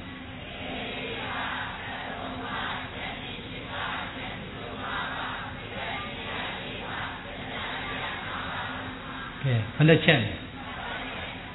ဩဃာကနဲ့ဆုတောင်းလိုက်တာပြိဿရှိခိုးလိုက်တာဆုတောင်းဘယ်နှချက်ရပါအဲ့ဒါပဲလေပြိဿတူတူလေးဆိုပေမဲ့အထင်မသေးနဲ့ဦးဇင်းတို့ကနေနေပါလေဘုရားမူသွားလို့နောက်ကဒကာဒကမတွေလည်းသူ့လုပ်ငန်းနဲ့သူပါတယ်ဥပမာပေါ့ဗျာမကွေးကိုတရားသွားဟောတယ်မကွေးရအဖွဲ့ရလာကြိုတယ်ပကံညာဦးခဏဝင်တယ်သူတို့မှလည်းလမ်းခရီးအစီအစဉ်ရှိတော့ကိုယ့်ကြောင့်အနောက်ချက်မပြအောင်ဘာမှရှိမခိုးနိုင်ဩဃာသနဲ့ပဲရှိခိုးခဲ့တာဟုတ်လား ဩဃာသထဲမှာဘုရားပါတယ်တရားပါတယ်သံဃာပါတယ်မိဘထဲလို့ရတယ်ဆရာသမားထဲလို့ရတယ်ပြီးသွားရင်ဆုတောင်း6ချက်တပြိုင်တည်းရတယ်ဟုတ်တယ်မဟုတ်လားအပေ၄ပါးကလည်းတပိတော်ကင်းလို့ရပါလို့ဤကတ်၃ပါးရပြည့်၈ပါးယံလူမျိုး၅ပါးဝိပဿနာတရား၄ပါးပြဿနာတရား၅ပါးကလည်းကင်းလို့ရပါလို့ဤဆုတောင်းပြီးသားဖြစ်မသွားဘူးလားကဲတို့ပြိတ္တဒီထဲမှာအပေ၄ပါးသွားခြင်းနဲ့လို့ရှိတယ် မရှိတော့အဲ့ဒီဆူတောင်းဟာဆူတောင်းရတာအပူလားတကယ်ဆူတောင်းရမှာဆူတောင်းရတယ်ပြိဿကြီးရှင်းရှင်းသူတော်ကောင်းကြီးတွေဟာပါရမီဖြည့်ပြီးတိုင်းမှာဆူတောင်းဆိုတာမပါခဲ့ဘူးလားတချို့ကတော့ပြောတာပါဆူတောင်းတိုင်းကပြည့်မယ်ဆိုရင်ကိုတော့တဲ့ပြည့်တာမပြည့်တာကကိုယ့်ရဲ့ကုသိုလ်ကံနဲ့ကိုယ့်ရဲ့အလုပ်ပေါ်မှာမူတည်တယ်ဆုကတော့မတောင်းရဘူးကျွတ်တို့မြတ်စွာဘုရားသူ့မိတာယသိဘောကဒီပင်ကလာမြတ်စွာဘုရားရဲ့ရှေ့မှာကြာပန်းလူပြီးတော့ဘာဆူတောင်းခဲ့လဲဘုရားအဖြစ်ကိုဆုမပန်ခဲ့ဘူးလား ဆုပန်ခဲ့တယ်အဲ့ဒါဆုတောင်းတာပဲအခုလည်းပဲပြိဿရှိကဘုရားတရားသံဃာယနာသုံးပါးကိုပူဇော်တယ်တရားနဲ့ပူဇော်ပြီးတဲ့အခါကျတော့အပင်၄ပါးကကင်းလို့ရပါလို့ဤလို့ဆုမတောင်းဘူးလားဒီအပင်၄ပါးဆိုဒုပရိသသိပြီးသားပဲအပင်၄ပါးဆိုဘာတွေလဲအယေတရိစ္ဆာန်ပြိတ္တာအတုတကယ်သွားကြလားမသွားကြရင်ရှိခိုးပေါ့ဟုတ်တယ်မလားကတ်သုံးပါးတဲ့ကဲဒုပရိသကတ်သုံးပါးနဲ့ကြုံကျင်သလားဘာကတ်နေလဲ ကတ်သုံးပါးကိုကြုံကျင်တဲ့လူပါသလားဒုဗိခန္ဓရာကကြီးကလည်းတပည့်တော်တို့လူကင်းရပါလို့ဤရောခန္တရာကကြီးကလည်းတပိတော်တို့ကင်းလို့ရပါလို့ဤသတ္ထန္တရာကကြီးကလည်းတပိတော်တို့ကင်းလို့ရပါလို့ဤဟုတ်လားဒုဗိခန္တရာကတတ္တဝါတွေလူတွေပေါ့လေမြန်မြန်ရှိအောင်လေလူတွေရဲ့တဏ္ဍာမှာလောဘတွေသိအားကြီးလာပြီဆိုရင်ပြိဿရဲ့ လောဘပြိုင်လာတော့ခေကြီးကစီးပွားရေးတွေကြက်တဲမလာဘူးလားအာနာရှိတဲ့လူကလည်းအာနာနဲ့ချင်းချောက်ပြီးတော့လုံလိုက်တာစီးပွားရေးတွေကကြာစင်းတော့ဂုံစင်းလုံးတွေတက်ကုန်ပြီးအေးမိမိတို့ရဲ့စီးပွားတွေအထီးကိုင်းမခံနိုင်တဲ့ချမ်းသာတဲ့ပုဂ္ဂိုလ်တွေကလည်းသူတို့ကိုထလောင်ပေးရရင်ငါတို့ကဒီလောက်မှရောက်မယ်ဆိုတဲ့လောဘတွေပြိုင်လိုက်ကြတော့ပြိဿရဲ့လောကကြီးအလယ်မှာစားနေတဲ့လူသားသားအလုံးဟာညီမျှသေးရဲ့ ဒါမစားနိုင်တဲ့လူတွေတော်လာရင်ပြိဿရဲ့ဒုဗိခန္တရာကတဲ့လောဘအားကြီးတဲ့ပုံကိုယ်တွေများလာရင်မစားနိုင်လို့ငတ်မုတ်ခေါင်းပါတဲ့ကတ်ဟာအလိုလိုရောက်မလာဘူးလားဒါကြောင့်ကတ်ကြီးသုံးပါးကြတော့ကြော်လွှားခြင်းတယ်လို့ဆူတောင်းရင်ဆူလဲတောင်းရပါတယ်လက်တွေ့ဘဝလောကထဲမှာလည်းပဲအာနာရှိတဲ့လူကလည်းအာနာအလွယ်သုံးစားမလုပ်ရဘူးစီစဉ်ဥစ္စာပိုင်တဲ့လူကလည်းစီဝါဥစ္စာကိုအများကြီးရင်းပြီးတော့မလိုလောဘတွေနဲ့မတန်တဆတွေမယောင်းမဝယ်ရဘူးတဲ့ အဲ့ဒါမှဒုဗိကန္တရာကတ်ကလွတ်မှာဟုတ်လားဆူတောင်းရုံနဲ့ရပါမလားမရဘူးအဲ့တော့ပြိဿရဲ့ဒုဗိခန္တရာကတ်ငတ်လာပြီဆိုတဲ့အခါကျတော့လူဟာပြိဿငတ်တဲ့ဓာတ်ဘယ်တော့ကြာကြာခံနိုင်မှာခံနိုင်ရလားဆူလဲတောင်းမယ်ကြော်လဲကြော်သွားသွားမယ်ဟုတ်လားအပင်၄ပါးလွတ်သွားပြီကတ်၃ပါးလွတ်သွားပြီရက်ပြည့်၈ပါးပြိဿရဲ့ရက်ပြည့်ဘယ်နှပါးလဲ ရက်ပြည့်၈ပါးဆိုတာဘာကိုပြောတာလဲရက်ပြည့်၈ပါးဆိုတာကျုပ်ဟာကျုပ်ပြောတော့မယ်အပြစ်တင်တဲ့အရက်၈ပါးကိုပြောတာဒါကိုကြားကောင်းအောင်စီလိုက်တော့ရက်ပြည့်၈ပါးအပြစ်တင်တဲ့အရက်၈ပါးရှင်းနေရအပြစ်တင်တဲ့အရက်ဘယ်နည်းရလဲဘာအပြစ်တင်တာလဲအဲ့ဒီနေရာမှာရောက်နေရင်မဉ္ဇဉ်ပူဉ္ဇဉ်မတရားဖို့တရားဘယ်တော့မှမရနိုင်လို့တဲ့ မဉ္ဇဉ်ပူဉ္ဇဉ်မရနိုင်တဲ့အပြစ်တင်နေတဲ့အရက်၈ပါးအဲ့ဒါကိုဘာခေါ်လဲရက်ပြည့်၈ပါးတဲ့ဒုပရိသသိပြီးသားမို့လားဟမ်နံပါတ်1အရက်ကဘာလဲမသိဘူးလားပြောချလိုက်ရမလားမပြောရဘူးကြောက်တယ်ရက်ပြည့်၈ပါးပရိသရဲ့နံပါတ်1ကငရေနံပါတ်2ကတရိစ္ဆာ န်နံပါတ်3ကပြိတ္တာဘယ်နှမျိုးလဲငရေတရိစ္ဆာန်ပြိတ္တာငရဲမှာရောက်နေတဲ့လူပြိဿတရားသွားဟောသိပါမလားမသိတဲ့အတွက်မညံဘုံညံရနိုင်မှာမလားအဲကြောင့်မညံဘုံညံမရနိုင်တဲ့အရက်ထဲမှာငရဲသည်နံပါတ်1မညံဘုံညံမရနိုင်တဲ့အပြစ်သိတဲ့အရက်တစ်ပါးဒါဆိုရင်တရိစ္ဆာန်ဖြစ်နေရင်ပြိဿမညံဘုံညံရနိုင်မှာမလားဘာဖြစ်လို့လဲ လိမ္မာခြင်းသလောက်လိမ္မာခွေးတကောင်ကိုတရားဟောလို့နားလည်ပါမလားနားမလည်ဘူးဒီတော့ပြိဿရေတရိစ္ဆာန်ဖြစ်နေရင်လည်းသူ့မှာမညံဘုံညာမရနိုင်တဲ့အပြစ်ကြီးသိနေတဲ့အတွက်အပြစ်ရှိတဲ့အရက်ဟာသူ့ရဲ့နှလုံးသားသည်အပြစ်ရှိတဲ့အရက်ပဲဟုတ်တယ်မို့လားငရဲတရိစ္ဆာန်ပြိတ္တာပြိတ္တာနဲ့အတူတကယ်ဒီနေရာမှာအတူတူပဲပြိတ္တာရေပြိတ္တာဖြစ်တဲ့ပုဂ္ဂိုလ်ရောမညံဘုံညာရနိုင်မှာမလား မရနိုင်ဘူးဒါကြောင့်ပြိတ္တာနဲ့အပြစ်သိတဲ့အရက်ထဲမှာပါလို့ရက်ပြစ်ဘယ်နှပါပြီးသွားပြီသုံးပါနံပါတ်၄အရက်ပြစ်တဲ့အပြစ်တင်တဲ့အရက်ကပြိဿကြီးအသိဉာဏ်သက်ဗျမ္မာအရူပဗျမ္မာအရူပဗျမ္မာဆိုတာအရူပရုပ်မရှိတာရုပ်မရှိဘူးဆိုတဲ့ကပြိဿကြီးစိတ်ရှိပေမဲ့လို့ရုပ်နဲ့တရားမကျင့်နိုင်တော့ရပါမလားအသိဉာဏ်သက်ဗျမ္မာကြီးတွေစိတ်ရှိတယ်ရုပ်မရှိဘူးရုပ်ရှိတယ်စိတ်မရှိဘူးတချို့ကရုပ်ရှိတယ်စိတ်မရှိဘူး ရုပ်တော်ရှိတယ်စိတ်ကမရှိဘူးဆိုတော့ပြိဿဒီစိတ်ကအကောင်းအဆိုးအကြောင်းကျိုးမခွဲနိုင်တော့အဲ့ဒီပုဂ္ဂိုလ်တရားတွေ့ပါမလားမညံဘုံညာရပါမလားမရနိုင်ဘူးဒါကြောင့်အရူပဗျမ္မာအတင်ညတဗျမ္မာဟာလည်းပဲအပြစ်တင်တဲ့အရက်ပဲတဲ့ဗျမ္မာသာဖြစ်နေတာပြိဿရဲ့တတ္တအကြာကြီးနေရပေမဲ့သူတို့လည်းပဲအလကားပဲအဲ့တော့ဘယ်နှပါပြီးသွားမလဲ၄ပါးနံပါတ်5ကဘာလဲဆိုရင်ပစ္စံတရစ်အရက်တိုင်းစွန်ပြည်ဖြားအရက်ဟုတ်လား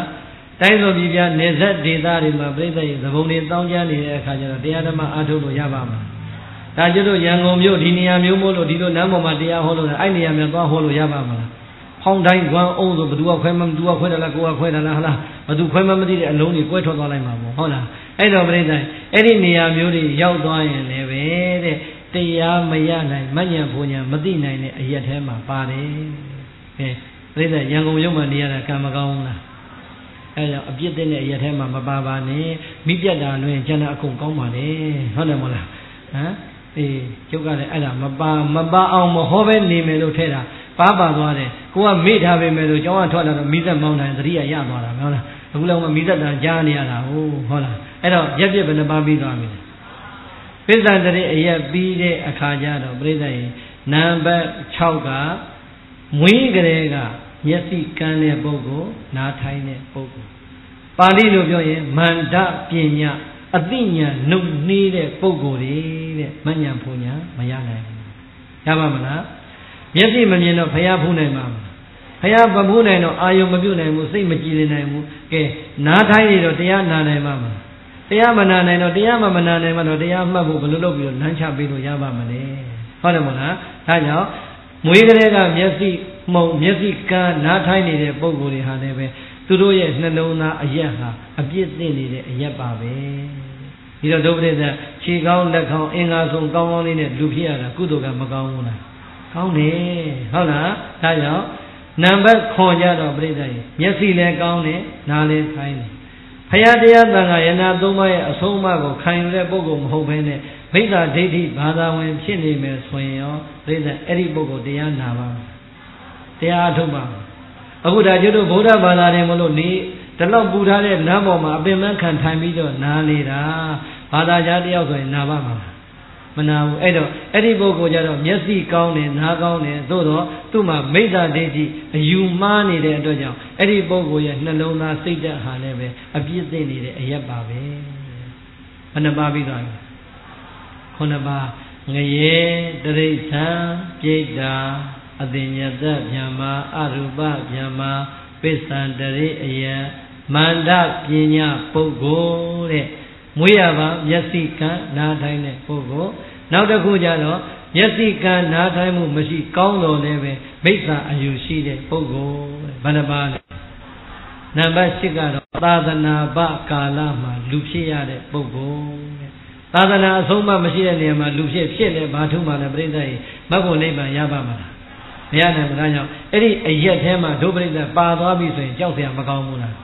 ဒါကြောင့်တဲ့တပည့်တော်တို့သည်အပင်လေးပါးကလည်းกินလို့ရပါလို့ဤကတ်သုံးပါးကလည်းကြော်လွှားရပါလို့ဤရက်ပြည့်ရှင်ပါးကလည်းလွတ်မြောက်ရပါလို့ဤရန်သူမျိုး၅ပါးကလည်းกินရပါလို့ဤရန်သူမျိုး၅ပါးနဲ့ဒုပရိသဆုံးညင်တာရန်သူမျိုး၅ပါးတော့ဒုပရိသသိပြီးသားမဟုတ်လားဘာတွေတော့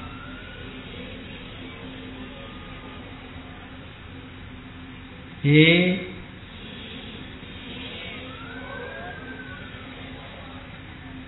ကဲအိမ်ကတောက်ရီအိုရိယရေကိုပြိဿရန်သူလို့ပြောလို့ရပါမလားသူ့တာရန်သူပြောရင်ဘာနဲ့သွားတော့ဟုတ်လားရေဒီပြိဿရေလူသားအလုံးအတွက်အသုံးပြုအသုံးချပေးနေတဲ့အချိန်မှာမိတ်ဆွေပဲသို့တော့အဲ့ဒီရေဟာဖောက်ပြန်လာတဲ့အခါကျတော့ပင်လေကြီးကိုမှီပြီးတော့တန်ဃာလှုပ်သားနေတဲ့လူတွေရေဟာသူတို့အတွက်မိတ်ဆွေကောင်းမဖြစ်ဘူးလား သို့တော့ပြိဿဆူနာမီရေလိုင်းကြီးလာပြီဆိုတဲ့အခါကျတော့အဲ့ဒီရေဟာမိတ်ဆွေဖြစ်သေးရလားဘာဖြစ်သွားပြီလဲဒါကြောင့်သဘာဝအတိုင်းအကျိုးပြုတဲ့ရည်သည်မိတ်ဆွေဖောက်ပြန်တဲ့ရည်သည်ရန်သူမိတဲ့ဒီတိုင်းပဲပြိဿအိမ်မှာရှိနေတဲ့မိကိုရန်သူလို့ပြောလို့ရပါမှာဖောက်ပြန်သွားတဲ့လောင်လာတဲ့မိကြတော့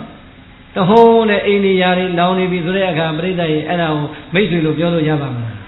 ဖောက်ပြန်မသွားဘူးလားဒါကြောင့် ဖောက်ပြန်သောရေသည်ရန်သူဖောက်ပြန်သောမိသည်ရန်သူရေမီးပြီးတော့ဗာလဲ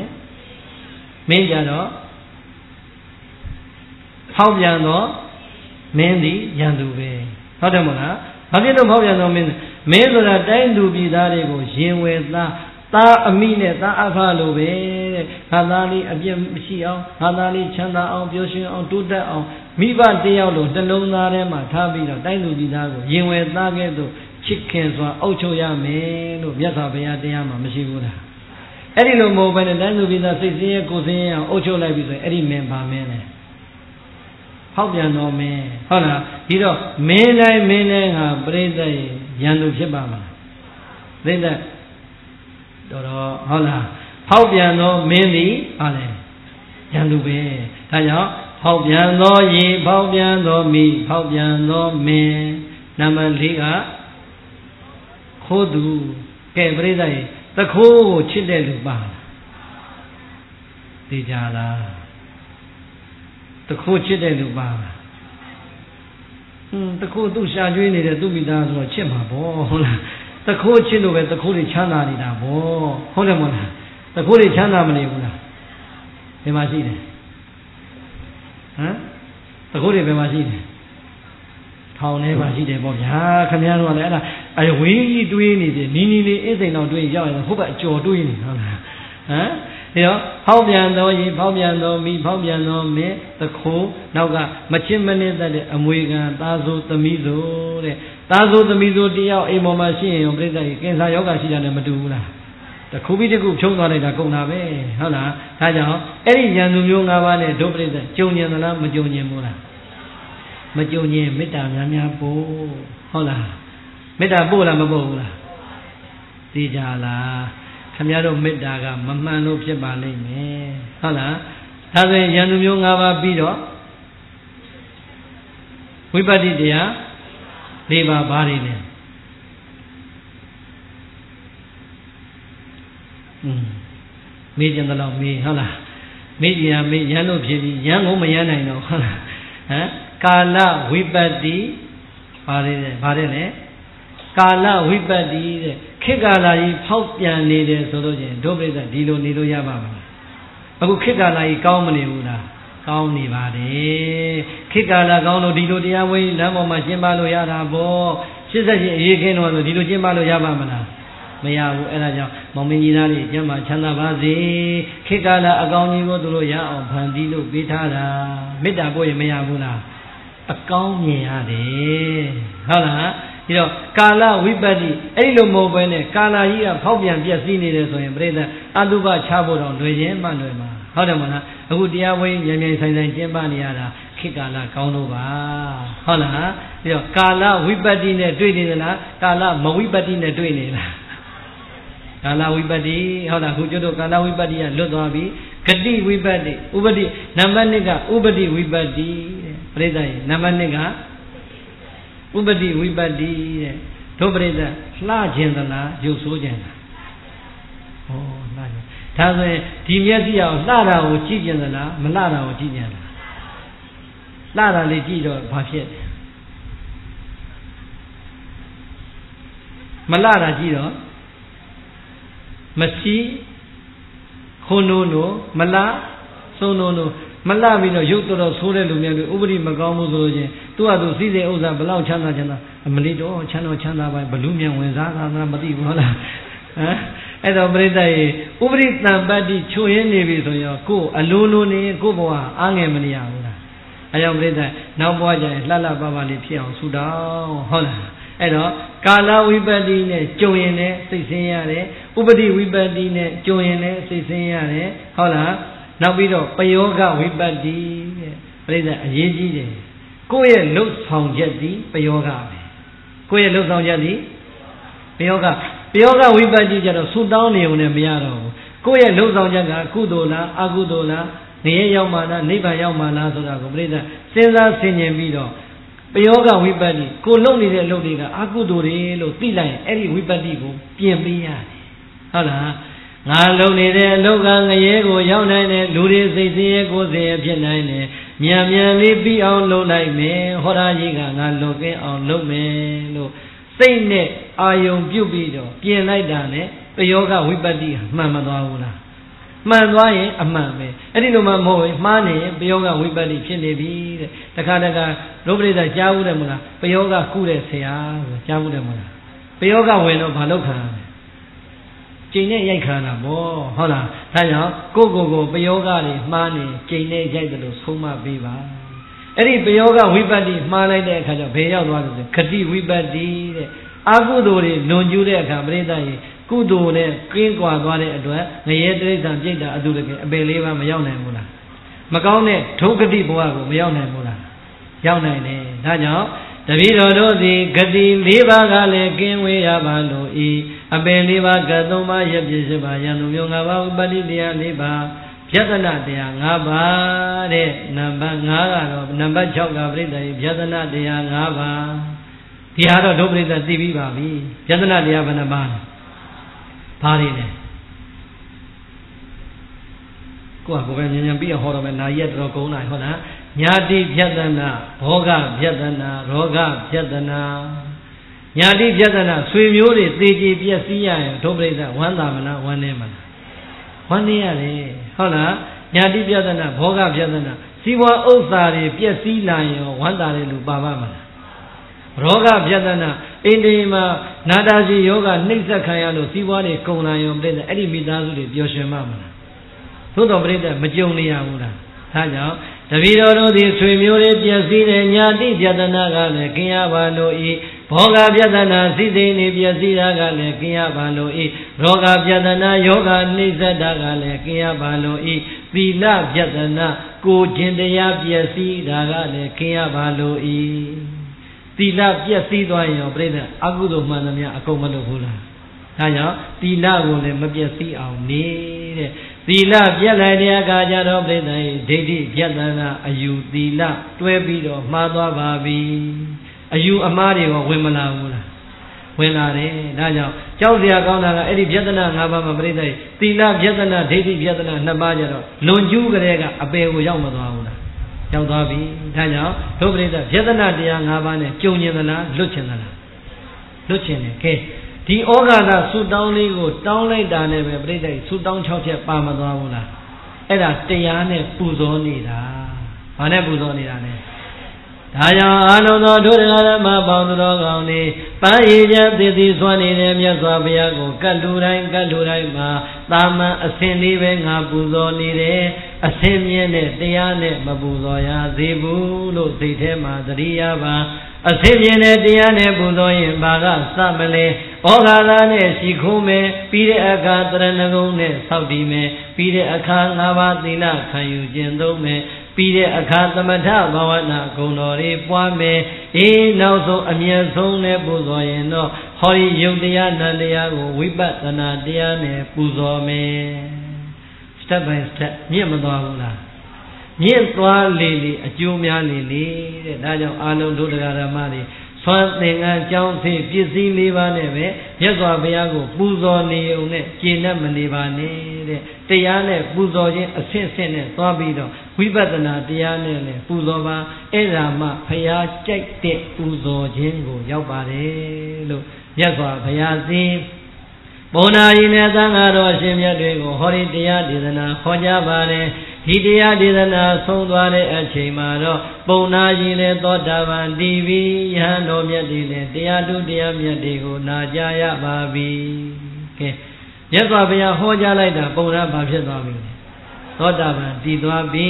ဒါကြောင့်ရှင်တော်မြတ်ဘုရားကပုံနာအကျိုးများသွားတဲ့အတွက်သောတော်တော်ကရွှေသေးရီခုနှစ်စုကိုရွှေသေးရီနှစ်စုကိုကောင်းကင်ရမှာခုနှစ်ရက်တိုင်တိုင် အရင်လေးမျက်နာကလာရတဲ့လူတရားဓမ္မတွေပူဇော်ဖို့ရန်ထားပြီးတဲ့အခါရေတန်ခုနှစ်ရက်ပြည့်တဲ့အချိန်ကျတော့ရွှေသေးရီကြီးနှစ်စုတကူတော်အတိုင်ပြောင်းသွားပြီးတော့အဲ့ဒီနေရာမှာကြောက်သားစီရီအဖြစ်နဲ့တည်ရှိပါတယ်ဒီသေးရီကြီးတွေရှိတဲ့အတွက်ကြောင့်အရင်လေးမျက်နာကလူတကာဓမ္မသိမ့်တန်းချပြီးတော့လေဖျားဖူးခွင့်နေရသွားပါပြီဆိုတဲ့အကြောင်းအာလုံးသောဒုဒကဓမ္မပေါင်းသူတော်ကောင်းတွေ ဒီကနေ့ညပုံနာကိုဖျားဟောကြားတဲ့ဒီတရားဖျားကြိုက်အောင်ပူဇော်ဖို့ရန်အတွက်ဟောကြားတာယနာဖို့သင့်ပါပြီဒီလောက်ပဲကောင်းပါတယ်ဟုတ်လားမနေ့ကဟိုဘက်မှာတရဏဂုံအကြောင်းသီလအကြောင်းကိုဥစဉ်စัจကြောင်းတစ်ခုတုတ်တန်တစ်ခုနဲ့ဆက်ပြီးတော့ထုတ်ဟောပါမယ်။နာကျင်သေးရင်ကြွခဲ့ပါတော်ပြီဆိုရင်တော့လေကျေးဇူးတင်ပါတယ်။ မနက်ဖြန်ကတော့ရှည်ကျင်လို့ကိုရှည်လို့မရဘူး။နောက်ပွဲရှိတဲ့အတွက်တနာရီနဲ့10မိနစ်ပဲဟောခွင့်ရပါမယ်။ဟုတ်လား။ဒေသေတံသုဒ္ဓဗုဒ္ဓေနာသုလိတဝါဓမ္မဒေသနာအဘိနန္ဒနာစေတေနာသာဓုသာဓုတိပါဒထာသာရောတရားနာလာကြပါတဲ့အများဓမ္မပေါင်းသူတော်ကောင်းတို့တုံမေသင်သူတော်ကောင်းအပေါင်းတို့သည် သုဒ္ဓဗုဒ္ဓေနာဒါနသီလသမာဓိပညာနှင့်ဆက်ရှင်သောဘုဒ္ဓအဖျာဖျာကိုပြီးစွမ်းတော်မူသောဖျားရှင်ကိုယ်တော်မြတ်ကြီး၏တန်ဒီကံအထံတော်မှာဒေသိတံတဆင့်ခံကဟောကြားအပ်သောဣမဓမ္မဒေသနာလောကကြီးမှာဖြစ်နေတဲ့လူသားအလုံးကဖယားအကြိုက်ပူဇော်ရင်ကင်းပြီးတော့ကိုယ်အကြိုက်ကိုယ်သာပူဇော်နေကြပါတယ် ဒါကြောင့်ဘုရားကြိုက်တဲ့ပူဇော်ခြင်းကိုရအောင်ပူဇော်နိုင်ဖို့ရအတွက်ရည်တံဟောကြားအပ်သောဣတရားဒေသနာတော်မြတ်ကိုသူနှိတ်တဝါကောင်းစွာယူသေနာကြကြကုန်ပြည်သည်ဖြစ်၍အဘိနန္ဒနာစေတေနာလောနိတရွှင်လန်းဝမ်းမြောက်ဝမ်းသာပိဋိဖြာကြကုန်လျက်အဘိနန္ဒနာစေတေနာဟောဒီကိုရော ငါတို့ကတော့နောက်ကြလာတဲ့အတွက်တူတူလေးဟောမဲမဲ့လို့သိခံပြီးတော့ထိုင်ဆောင်နေတာအမလီသူကိုစောင့်ရတာကတဏှာကြီးသူဟောလိုက်တာကနှစ်နာရီကြော်ကြော်အောင်မဲလေးရှိတော်မူလိုက်တဲ့တရားမနက်ဖြန်သုထမြတ်သွားရအောင်မဲတဲ့စိတ်ထဲတော့မစင်စားတော့ဘူးရဲ့လို့တရားရည်ရှိသွားလို့စိတ်ထဲမှာကြည်ခဲ့ကပွားစီပွားစီကြံခဲ့မယ်ဆိုရင် ပရိသတ်အပြစ်တော်တင်းရင်လည်းဒီကိုယ်တော်ကတော့လက်စင်းလို့ခံရမှာပါပဲခမည်းတော်ကလည်းခမည်းတော်ပါပဲမေးလိုက်တိုင်းမေးလိုက်တိုင်းသိမဲ့ထင်သားလေးတွေတော့မှမသိပြီးနဲ့ပြုံပြုံပြပြီးတော့အချိန်တွေကုန်သွားတဲ့အတွက်ကြောင့်ဒီကိုယ်တော်တက်ကချိန်ထားတဲ့အချိန်လေးလည်းမတက်နိုင်တော့ပါဘူးအကုန်လုံးလွဲပြီးတော့ဟောလိုက်ရတာမောလိုက်တာဒါကြောင့် ဟောကိုတော့တရားရှိတာငါတို့ကြောင့်ရှိရတာသူကြောင့်မဟုတ်ဘူးရဲ့လို့ကိုယ့်အပံလေးကိုပြန်တွေးပြီးတော့နည်းနည်းလေးခွင်လို့ပေးလိုက်မယ်ဆိုရင်ကြည်လင်းလာလိမ့်မယ်ဝမ်းမြောက်လာလိမ့်မယ်ဒါရောက်ကြည်ကြည်လင်းလင်းဝမ်းမြောက်ဝမ်းသာပီတိတွေဖြာကြကုန်လျက်သာဓုသာဓုတိသာဓုသာဓုသာဓုလို့ခေါ်သော သူတော်ကောင်းသူမြတ်လောင်းတို့ရဲ့ကောင်းမြတ်တဲ့ကြွေးကြော်တန်ကိုဘာသထာသုံးငိမ်သုံးဝနှုံရခါ၍ကောင်းစွာမသွေကျွေးလိုက်ကြ